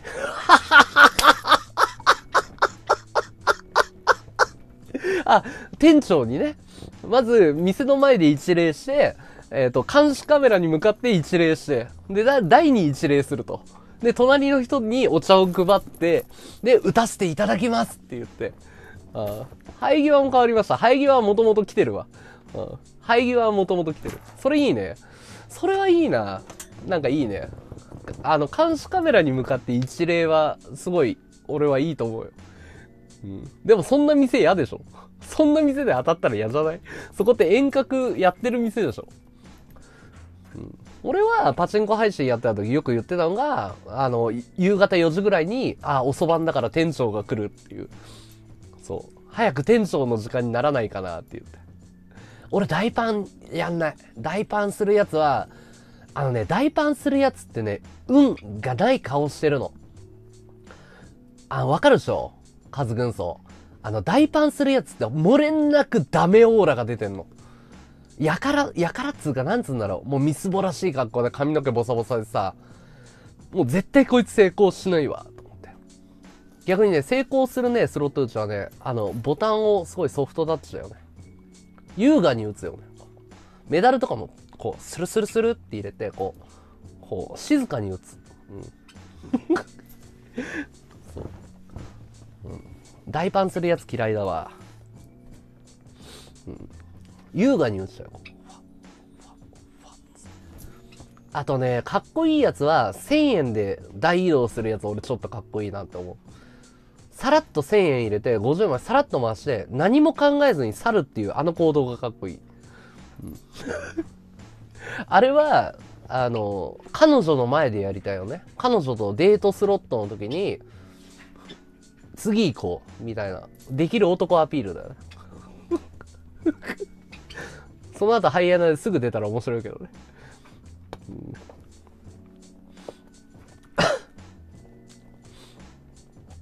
昨日、あれだね、バジリスク打ったけど、出たね。バジリスク出ましたよ。絆。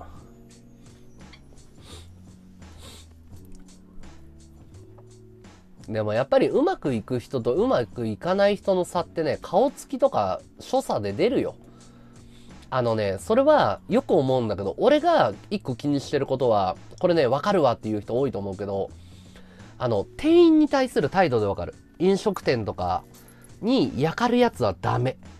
漏れなくダメ。いるんだよ。店員に対して横柄な態度取るやつ。で、どれだけ、そう成功してたもん、店員さんとかにすごく丁寧な人ってね、やっぱりね、長い目でね、やっぱ成功してる人多い。うん。メダルは拾うわ。メダルめっちゃ拾うわ、俺。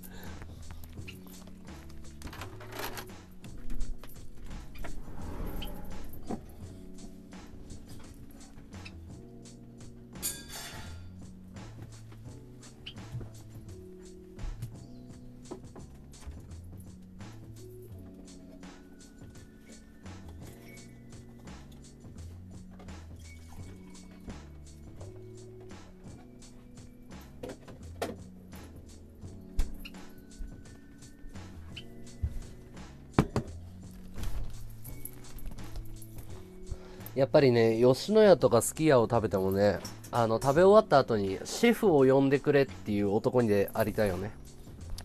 シェフを厨房から呼んできてくれっつって。ていうか、すき家のなんか牛丼今日食ったんだけど、なんか牛が美味しくなってたね。はい、ワトツ、いらっしゃい。やっぱりね、俺ぐらいの上級国民になるとね、どこの店に行ってもシェフ呼ぶからね。いや、サイゼリアでもね、ちょっと厨房からシェフ呼んでくれって。シェフがもうこうやったって。はい。ありがとうございます。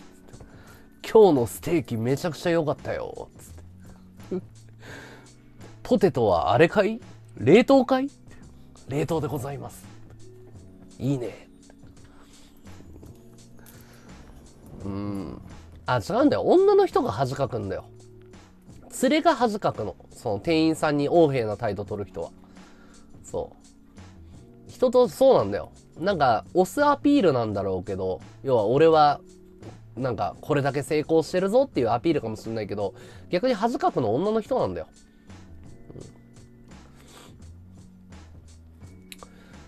あれだね。ドリンクバーは、毎朝洗ってるね、この店は。はい。洗っております。また来るよ。はい。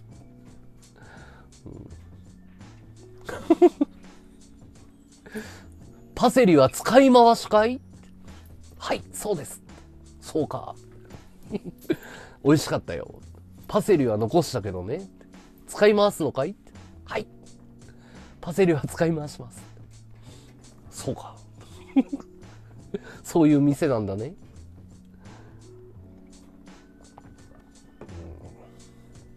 ていうか、パセリいらないよね。うん 広げるね、つって。いや、やっぱ成功したいから、俺も。うんどんな店に行ってもやっぱり成功者でありたいから。え、なんで銀クなの、うん、いや、パセリ使い回してる飲食店結構あるから気をつけた方がいいよ。結構使い回してるよ、パセリは。あ、絶対ダメだけどね。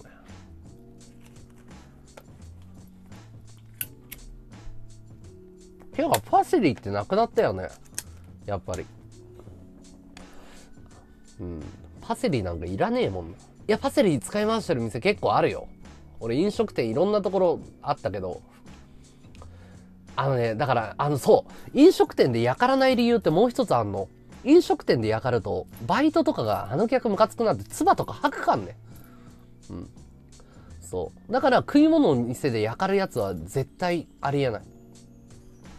丁寧だと丁寧にやってくれるけど、厨房の裏でどんなことやってるか俺知ってるから。あ、言えない。例えばどこを言えない。うん。初見です。おはようございます。パセリ好きで食べてました。あ、ごめんなさい。なんかすいません。だから、やっぱり、その、気をつけた方がいいよ。うん。やかったりダメだよ。うん、だから自分に返ってくんだよ。全部。いや、そりゃそうでしょ。だってアルバイトのガキとかさ、高校生とかムカつく客とかいたらいたずらするでしょ。正解だよね、キラルさんね。俺が言ってること嘘じゃないよね。うん、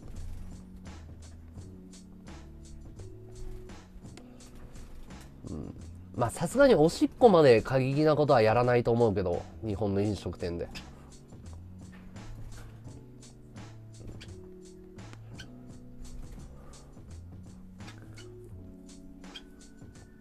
駐車場行為大きくして。駐車場でかくしろって、うん、髪の毛とかフケとか入れたでしょ？そう。だからそれに気づかない脳みそなんだよ。店員に焼かるやつって。そう。から成功者は頭いいわけじゃんそういう人徳のないことしないよいやじゃあじゃあ焼かるなってこと要は愛とか横柄な態度取ってると全部そういうことされてんだよってなあその因果応報ですよ。だから、シェフを呼ぶんだよ。シェフを呼んでくれ。はい。君がこのポテトを揚げたのかい？はい。冷凍かい？はい。美味しかったよ。ありがとうございます。ポテマヨ、ポテマヨフライドポテトまた頼むよ。ありがとうございます。頼むよ。だからシェフを呼べっつってんの。うん、ドリンクバー、あのね、カラオケは大丈夫。なんでかっていうと、カラオケは忙しいから余裕がない。ドリンク作るやつはもう戦場だから、いたずらする余裕なんてない。そんなこと考えてる間だったらもうバンバン作んないといけないから。ないでしょ、バレエには。そういうのは大丈夫。要は忙しいところは意外と大丈夫。もう戦場だから厨房。ワンオペだったりするから。うん、もうあそこは戦場だから。そんないたずらしてる余裕なんかないよ。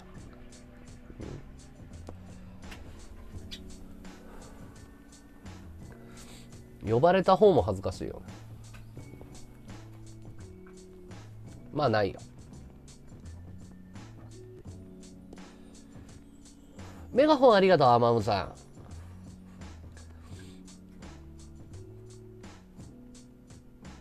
あと、いい、本当にいい接客をしてくれてる人とかには、チップとかはつかないけど、あ、いい接客ですね、とか一言声かけるようにする。絶対に。あと、あの、スーパーのおばちゃんとかでもすごいいい接客だったら、名前覚えて、なんか、上司っぽい黒服着てる人とかいたら、あの人すごいいい接客ですねって、いつも頑張ってますねって言うようにしてる、俺は。なんでかっていうと、褒められたよって絶対噂になるから。その、バイトさんとか休憩中とか、何々さん褒められてたよって。そしたら頑張るじゃん、そういう人が。ワンオペでドリンク作ってフードをこなしてやってると、影分身したくなる。バカありがとう。うん、わかる。そうそうそうそう。たまにいるぜ。セブンイレブンとかでもすげえいい接客するおじさんとかいるよ。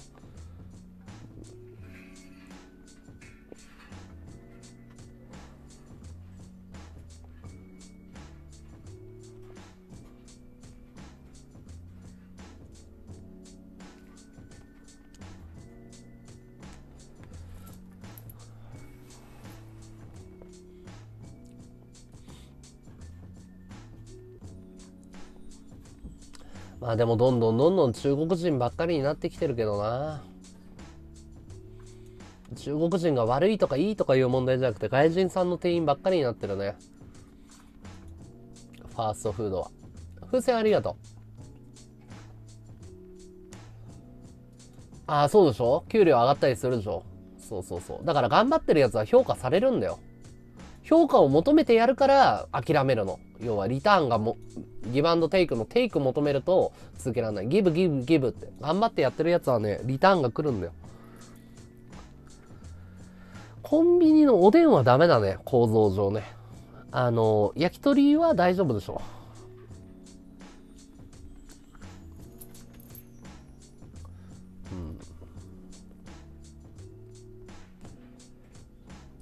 丁寧な接客してるからじゃん機種変機種とかの対応とかをちゃんとやるからでしょ。じじいばばあはよく人のこと見見る目があるよ。じじいばばあに好かれるのは本物だよ。人に慣れてるから。人を見てきてるからね。おはようございます。アイテムありがとうございます。増えたつうか東京はもうほぼ100%に近くなってきてるね。日本人がほとんどいない。学生とかじゃない？あえてこだわって日本人のスタッフだけにしてる店とかもあるけどね。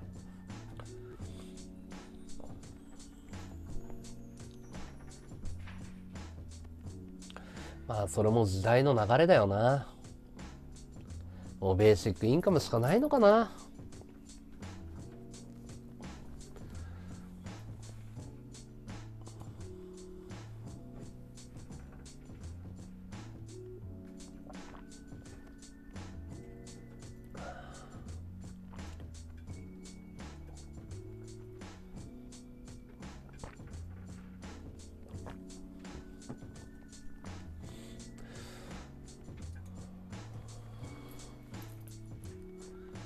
鍋に入れる前のを買う。そんなことできんだ。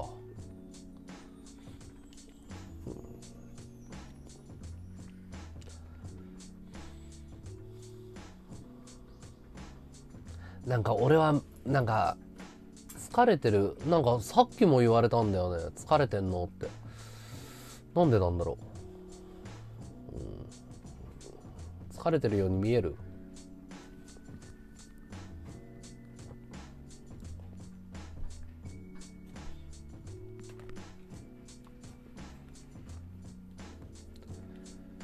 おでんって実は作るの難しいんだよね。おでんは結構料理で難しいんだだから屋台でおでんとかって結構手間かかる。おでん手間かかるって知ってた？おでんが難しいって。ちゃんと料理作ってる人だったらおでんって結構難しいの分かるはずなの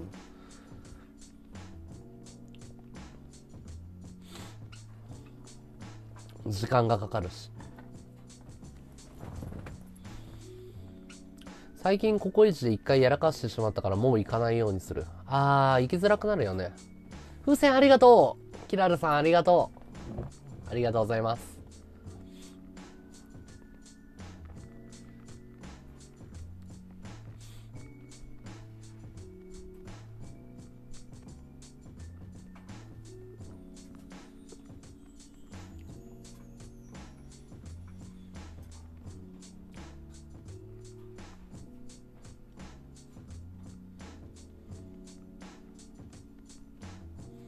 まあでも、その、ドレさんがやっぱりその、まあ、偉いなと思ってんのが、その結構ね、あの、稼げるようになってきたじゃん、ドレさんが。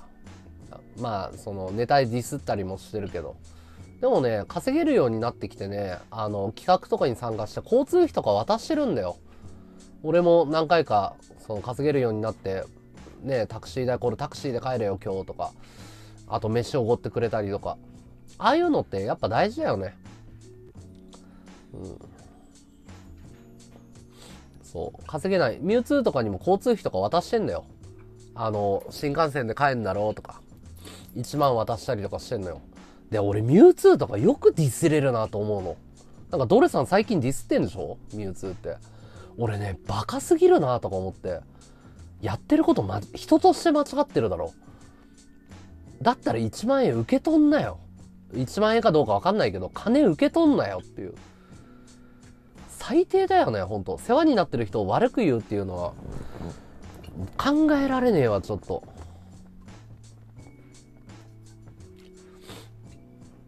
うん。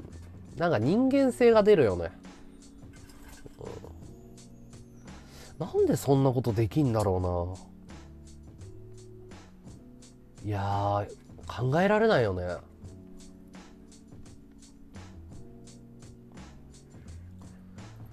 昔何してたんですか？いやなんかいろいろやってたらしいよ。なんかテレビ CM とか出てんだよね実は。なんか 栄養ドリンクの CM とか出てんの知ってる？地味になんかいろいろやってんだよ、うん、あんま自分から言わない人なんだけど、うん、精力剤の CM とかさすげえ面白いよね。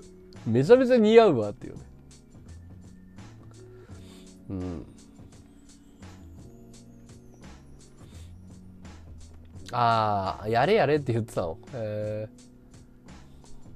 そこもよくわかんないけど。すっぽんの CM だっけ、うん、いや、でも、やってるのは自分で判断してるわけだから、やれやれじゃなくて、自分でやったっていう自己責任を負ってないわけじゃん。うん。それはダメでしょ。それってポンプに乗っかってるだけだから。そんなん甘くないよ、そんなに。自分で枠で自分で発言したことは全部自分に返ってくんだよ。ね。まあ子供なんでしょ。俺は世話になった人のことを悪く言うっていうのは考えられないけどね。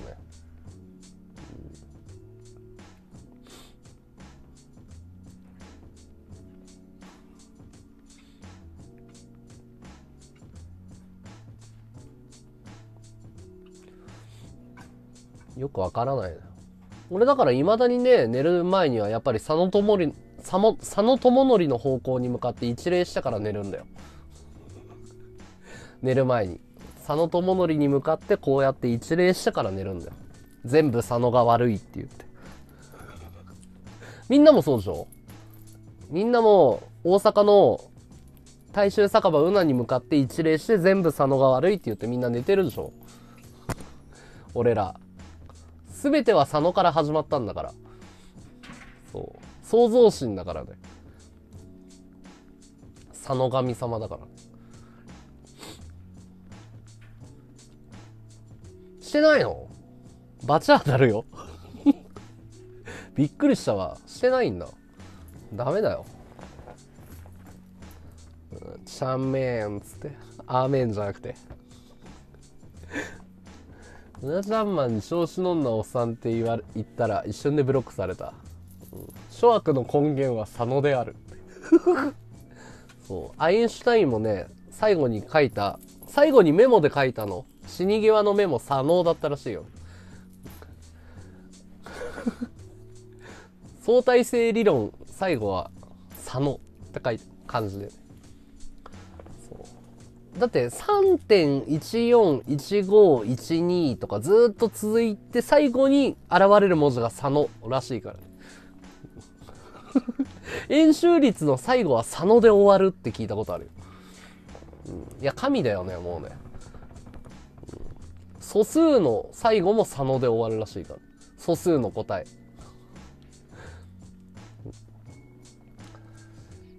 あれでしょ？だって、確かあの、数学のゼロを考えたのも佐野だって俺、授業で教わったよ。数学をゼロを作ったのは佐野である。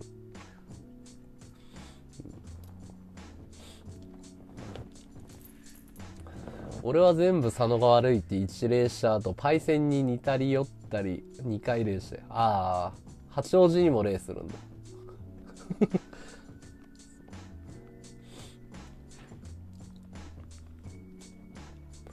うちの歯磨き粉は、のんちゃんが選んでるんだけど、あの、うなちゃんマンが放送で紹介したあの歯磨き粉だから。これ本当なんだよ。のんちゃんは必ずうなちゃんマンが紹介した歯磨き粉を使ってるから、実は我が家にも影響を及ぼしてるんだよ。のんちゃんちょっと歯磨き粉持ってきて。うん。これめっちゃ高いんだよ。1500円ぐらいするんだけど、で、実際いいんだよ。実際この歯磨き粉めちゃくちゃいいんだよ。ありがとう、のんちゃん。えっ、ー、とね、アセス L。うん、歯茎の出血、腫れ、口臭、海、口の粘り。これね、要は簡単に言うと歯茎用の歯磨き粉なの。歯茎にめちゃめちゃいい歯磨き粉なの。佐藤製薬。そう。アセス L。うん、これは、うなちゃんマンがご用達。うん。歯磨きしてるんだよ。歯茎の出血、腫れ、口臭、海、口の粘り。で、ちゃんと、あの、歯ぐ、えっ、ー、とね、やり方は、ちゃんと書いてあった。歯茎をマッサージするように磨いてくださいって書いてある。ここに。歯茎をマッサージするように磨いて。歯茎用の歯磨き粉。ありがとう。1500円するの高いんだよ。でも結構いいよ、これ本当に。思想脳漏とか治る。歯茎を。そう。ならない大丈夫でしょ。実際いいよ。この歯磨き粉。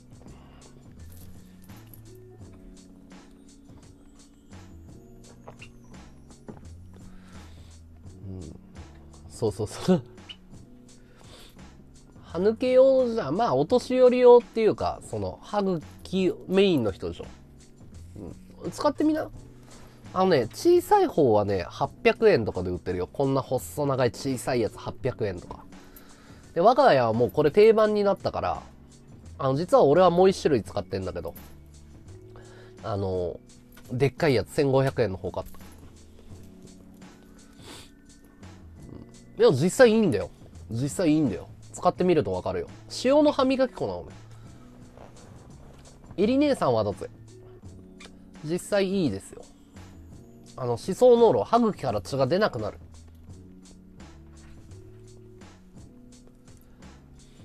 うん。どうなんだろうななんか、うなちゃんマンはゲルゲやっぱ女の人がいた方がいいっていうふうに思うね。そう寂しいよねなんかね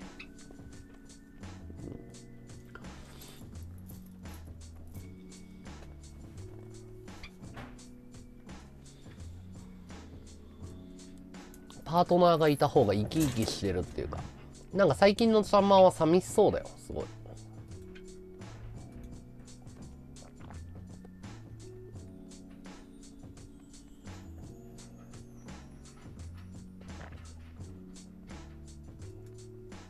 メガホン、ありがとうございます。メガホンありがとう。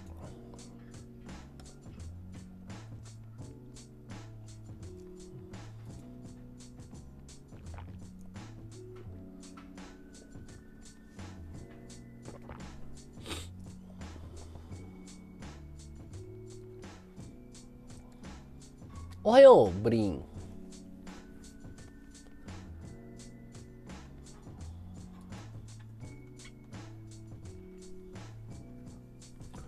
のんちゃんで変わったっていうか、うんと、運気がすっごい上がったね。のりこはめちゃめちゃ揚げまんだと思ってる。実際ね、のんちゃんがいてから運気はだいぶ良くなってるかな。うん。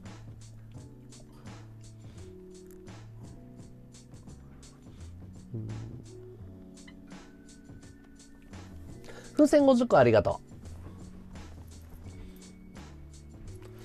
う。ワンチャンあったっていうか、まあ、席入れるべきだったんじゃないの？ゲルゲと。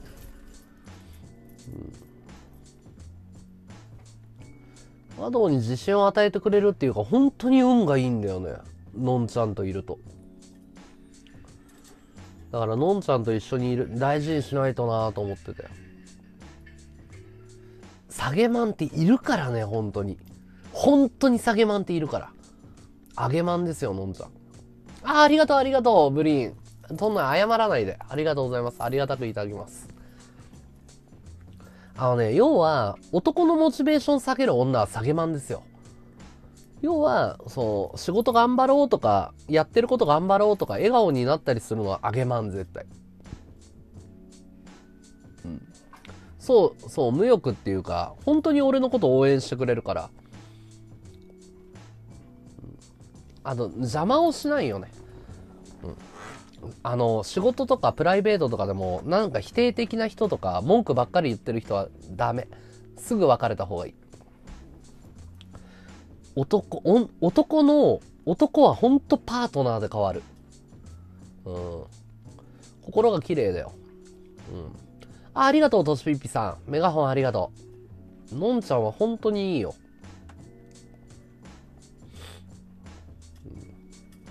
で、言うのよ、プライベートで配信終わった後も、のんちゃんありがとねって、のんちゃんのおかげですごくうまくいってるよって言うと、和道さんの今までの活動のせいだから私のせいじゃないよっていうの。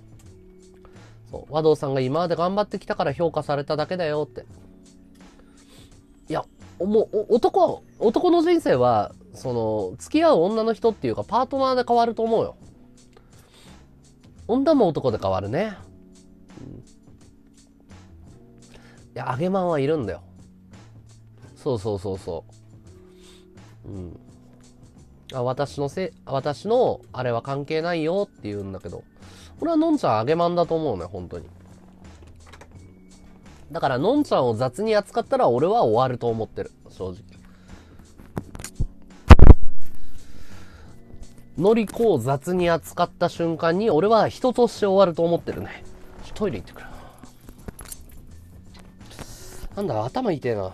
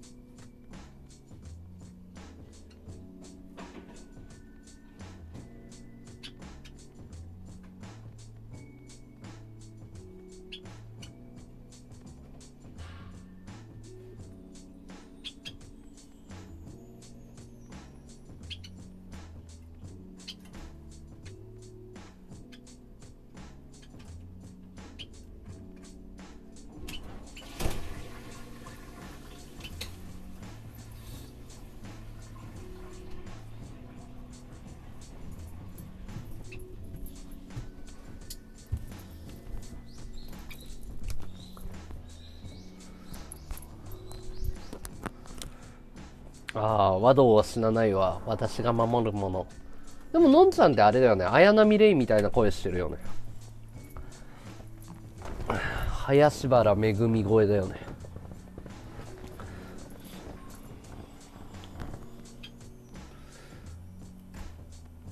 あれ、また水道出しっぱにしてる俺。大丈夫？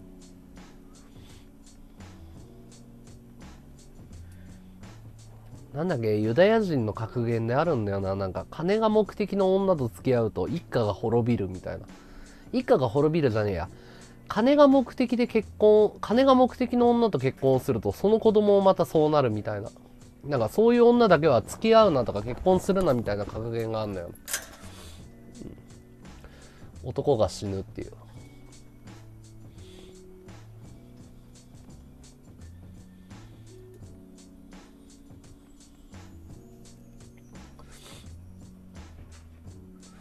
お金も大事だけど、頭がい、うん、ちょっと頭痛いね。イラつきはしないよ。頭が回んなくて困る感じだね。喋りが結構頭使うから。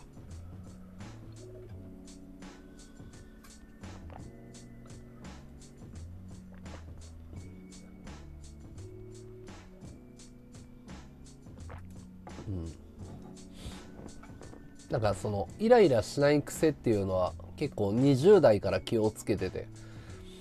あのイライラしたりネガティブな感情をコントロールするっていうのは結構癖ついててもう習慣になってるかな。気温差もあんのかね、最近あったかいよね。なんか結構さっぱりしてるとか言われたりとかなんでそんなヘラヘラしてられんのってよく言われるんだけど、トレーニングだいぶしてる。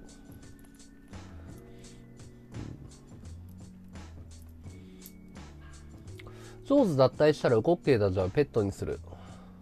いや、うーん。上手脱退はしたんだけど、あまあ、あんまり、うん。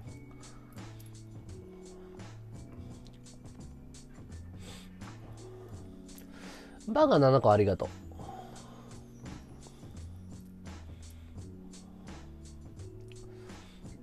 うん、まあこれは俺の考え方なんだけど 自分がもし何かをやるとしたら主催するとか人を招いたりとか仲間を募った時に絶対言っちゃいけないことがあってそれはそのそう抜けろとかやめろっていうことをする権利はないと思ってんの。それは会社経営やってたりとかネットワークビジネスやってる時にもうすごい心がけてたことでそう自分に賛同してくれた人に対してその一回入ってくれた人に対してその抜けろとかやめろとかっていうのはダメだなと思ってて。そう。どんなに間違ってると思ってもそれだけは言わないっていうのが俺の考え方。うん。脱退したよ。うん。それはその人を招く資格がないっていうのが俺の考え方かな。うん。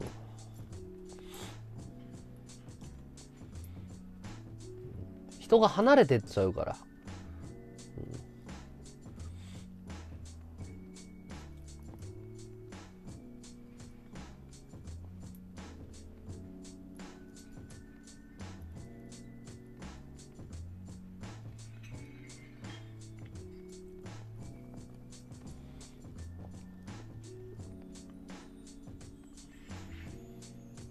何があったの？いや、だから抜けるか抜けないかっていう話をして、じゃあ抜けますって言っただけ。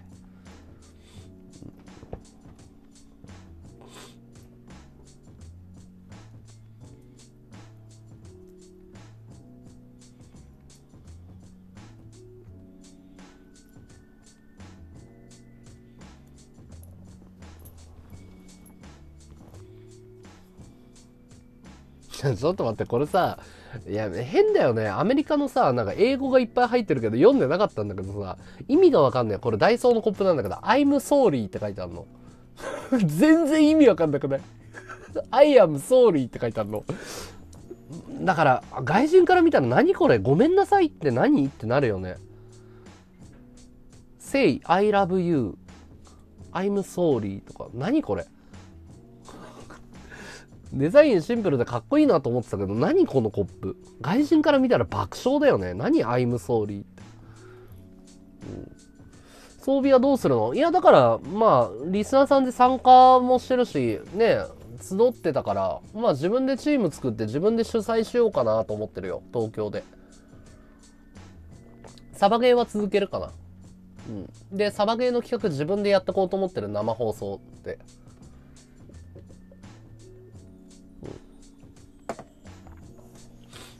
サバゲー楽しいからね。トレーサーが欲しいんだよね、今。光る BB 弾が撃てるの。ビームライフルみたいなのが撃てるのね。トレーサーは欲しいなと思ってるね。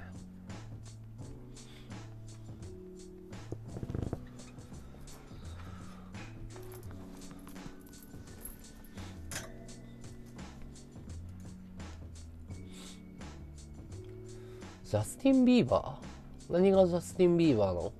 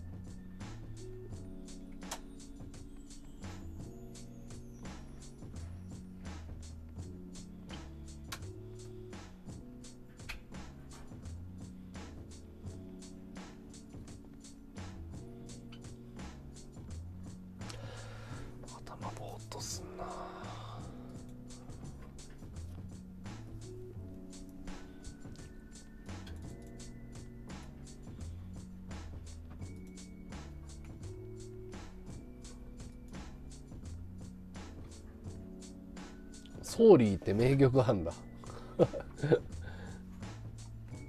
えー、のんちゃん楽器ってできないの？何もできないの？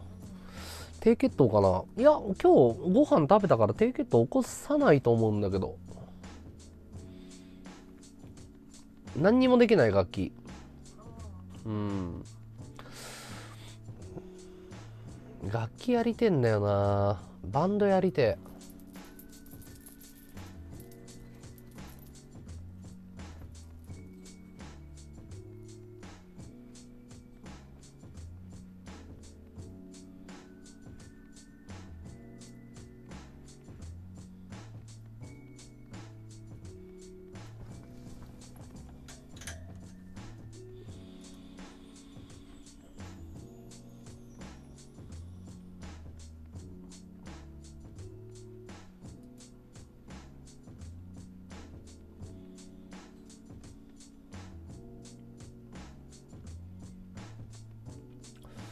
ンバリンがカスタネットタンバリンってめちゃめちゃ技術いるの知らないからそういうこと言うんだよ。カスタネットとかタンバリンってめちゃくちゃ難しい楽器だよ。タンバリンで技いっぱいあるの知らないでしょ、うん、メンバーはオーディションじゃなくて別にやりたい人ガンガン集まっていく感じでやりたいのよ。便所さん忙しいから無理でしょ。便所さん忙しいから無理だと思うよ。タンバリンのさ端っこの部分あるじゃん。木枠の部分。それをバラーってやる技あるのとか知らないでしょすげえいい音なんだよダラーってなんの指をタタタタタタってこうバラバラずらしていく技とかあるんだよフラメンコとかも難しいじゃんカラカッカラカッカラカックククククカラッタタタ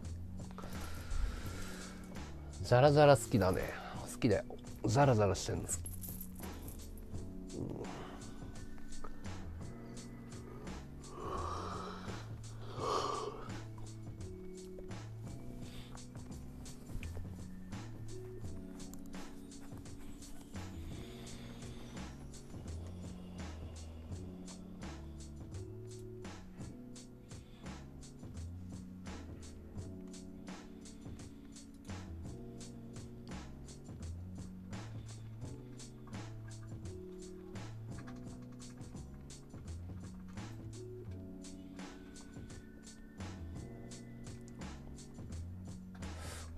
変えてないよ。あー、赤く染め直したね。うん。自分でやってる。染め直したよ。赤が濃くなってると思うね。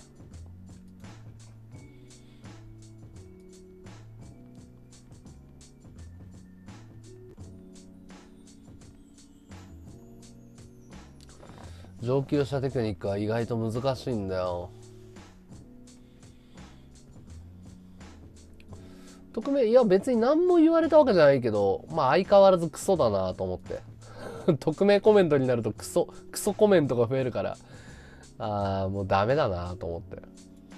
民度が低いなと思って。赤もともと好きな色なんだよね。赤黒白って。で白い髪は難しいから赤にしようと思って。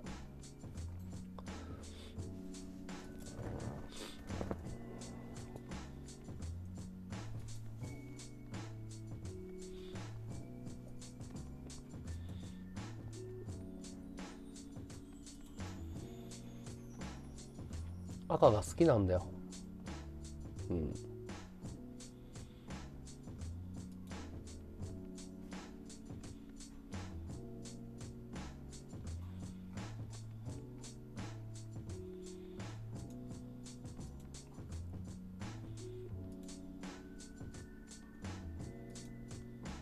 バックも赤だね。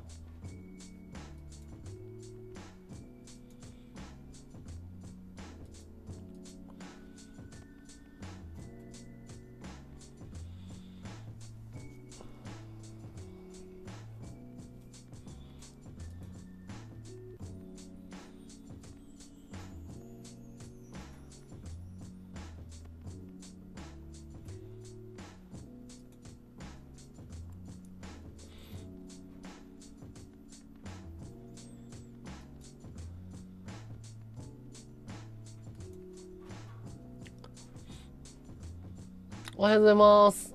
ピエロさんいらっしゃい。実名で知ってる人に誹謗され、中傷されるのも嫌じゃない？誹謗中傷するやつが俺はおかしいと思ってるね。匿名だろうが何だろうが、実名だろうが、誹謗中傷するやつが頭、なんか、悪いっていうか、なんつうんだろう。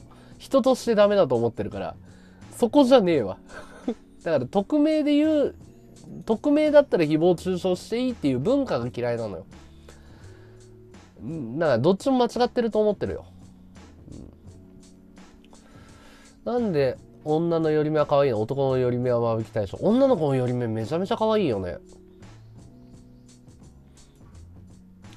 意識レベル高いし物知りの人多いしそこその人ら相手にできる和道さんもすごいと思ってる。俺が集めたんだって。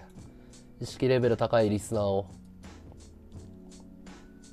だからねうちのリスナーはねメンヘラと経営者のね二極化してるんだよねメンヘラか経営者しかいない極端なんだよ ドメンヘラか経営者しかいねえからね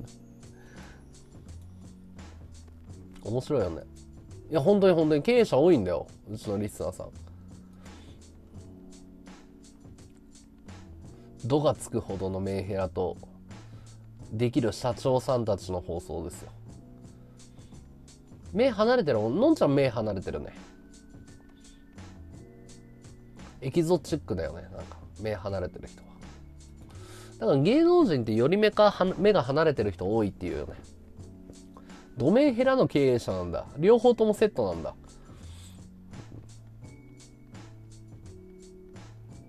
心ちゃんも目離れてるね。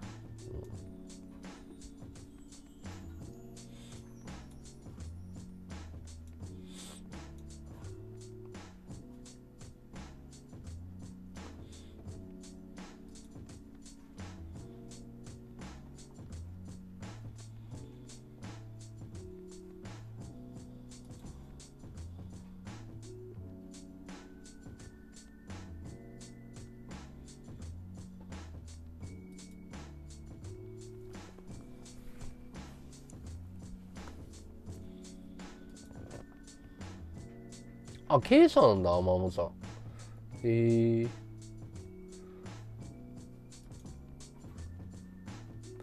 経営者は大変だよね、本当に。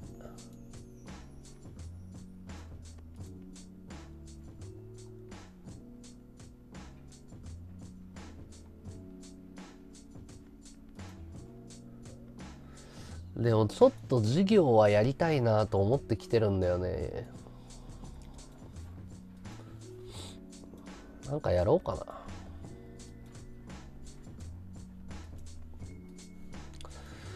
資本、低資本で参入できるビジネス。なず談はずつ。なんかあるかな。おお、トトは勝つ。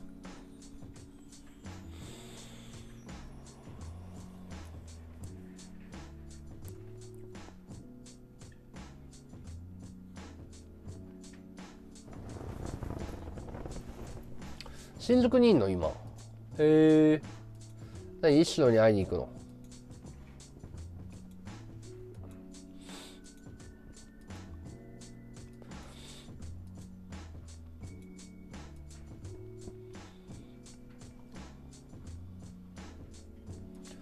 俺は社入って前までいじられるの嫌いだったんだけど最近視野が広そうに見えるだろうって返すようにしてる。返しの問題じゃねえわ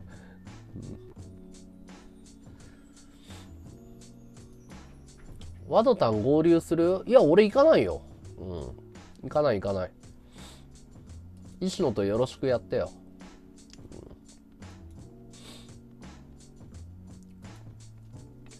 のんちゃんに打ち抜かれるよ。そういうこと言ってると。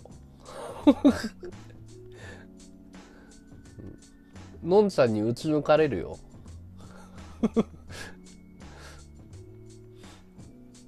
色盲なんだ。恋身盲目です。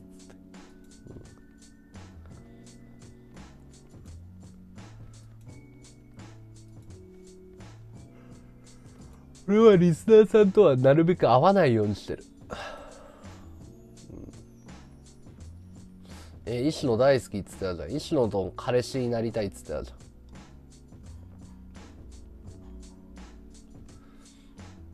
うん。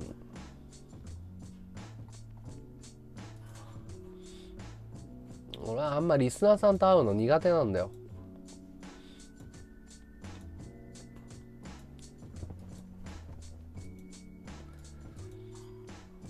結構意外と物静かなタイプだから。喋らないんだよね。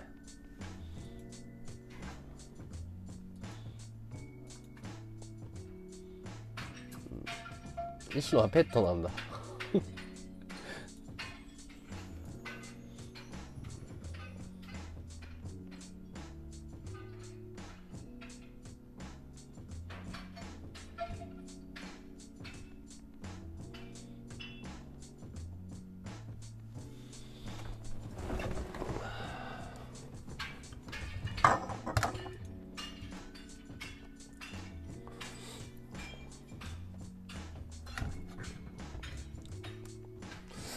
そうそう隣が解体解体とかそういう業者だからね。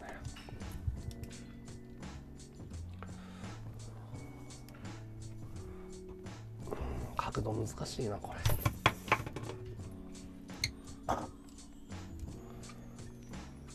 俺が見た時荒ぶってた石野石野最近荒ぶらなくなってきたけどな。まだ荒ぶってた。のんちゃんと俺「スター・ウォーズ」シリーズを見ることに決めたんだよ。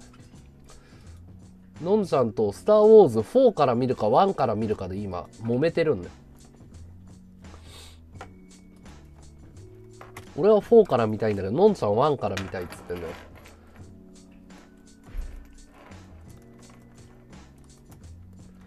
のんちゃんビデオ屋さん行こう。レンタルしよう、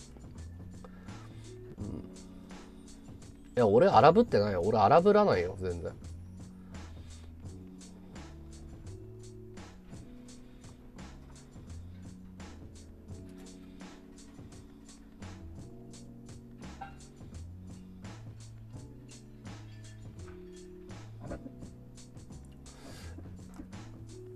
バイパーティックというところから新作の銃が出る。ん？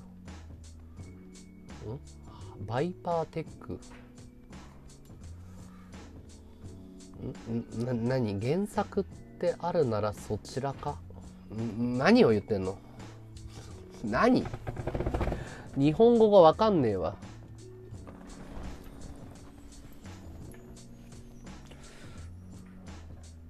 スター・ウォーズ。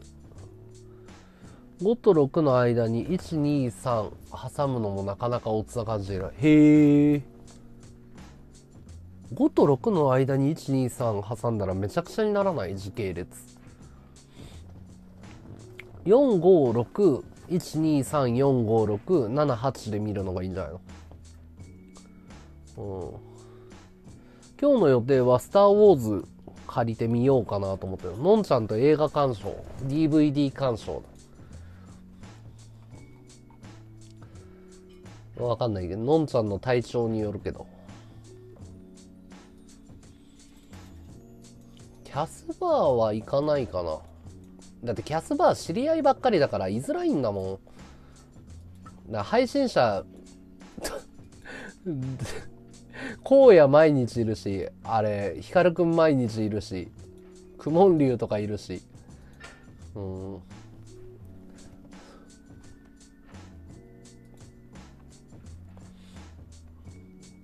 配信者のたまり場になってるな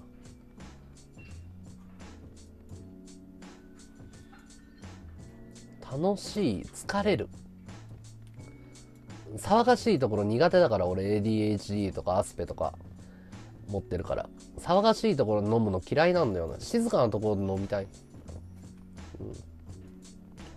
うん、なんかラウンラウンジみたいなところで飲みたいタイプだから。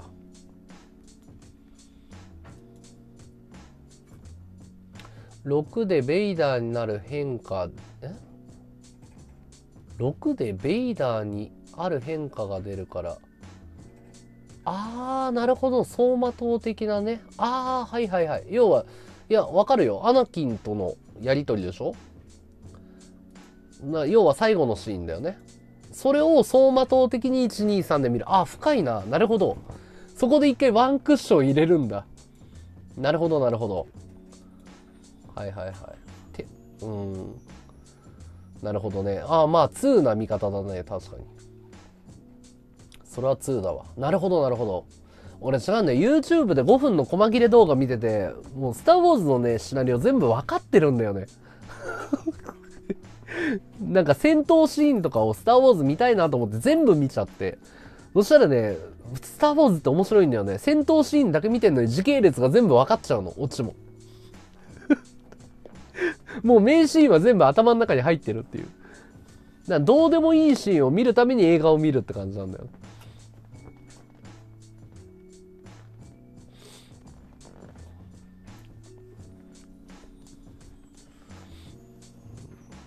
ね、あと、セブンをちゃんと見たいっていうか、スター・ウォーズはやっぱ追っかけたいよな。うん、ああ、そういうことか。原作が映画だね。うん。原作が映画、スター・ウォーズは。あエヴァンゲリオンとかと一緒。原作が映画。アニメとかが、あの、二次創作作品だ。うん、ストーリーは頭の中入ってるね。うん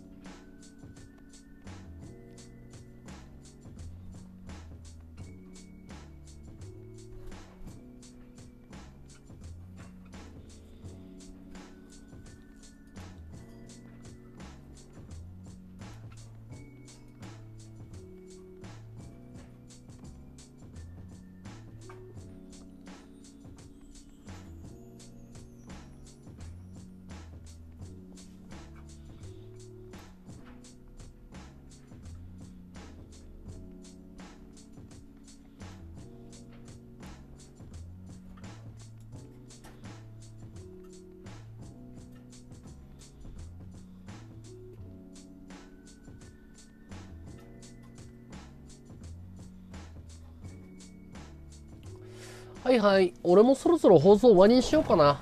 うん。エピソード8が今年の、いつだっけ？そろそろやるんだよね。うん、じゃあみんなお疲れ様。終わりにします。ありがとうございました。お疲れ様です。来月もよろしく。うん。昼間増やすから。そうそう。ありがとう、お花火。お疲れ様でした。お前コメント欄荒らすなよ。バカとかハゲとか書くなよ。なんでお前動画の内容も見ねえでお前バッドボタン押してんだよもう。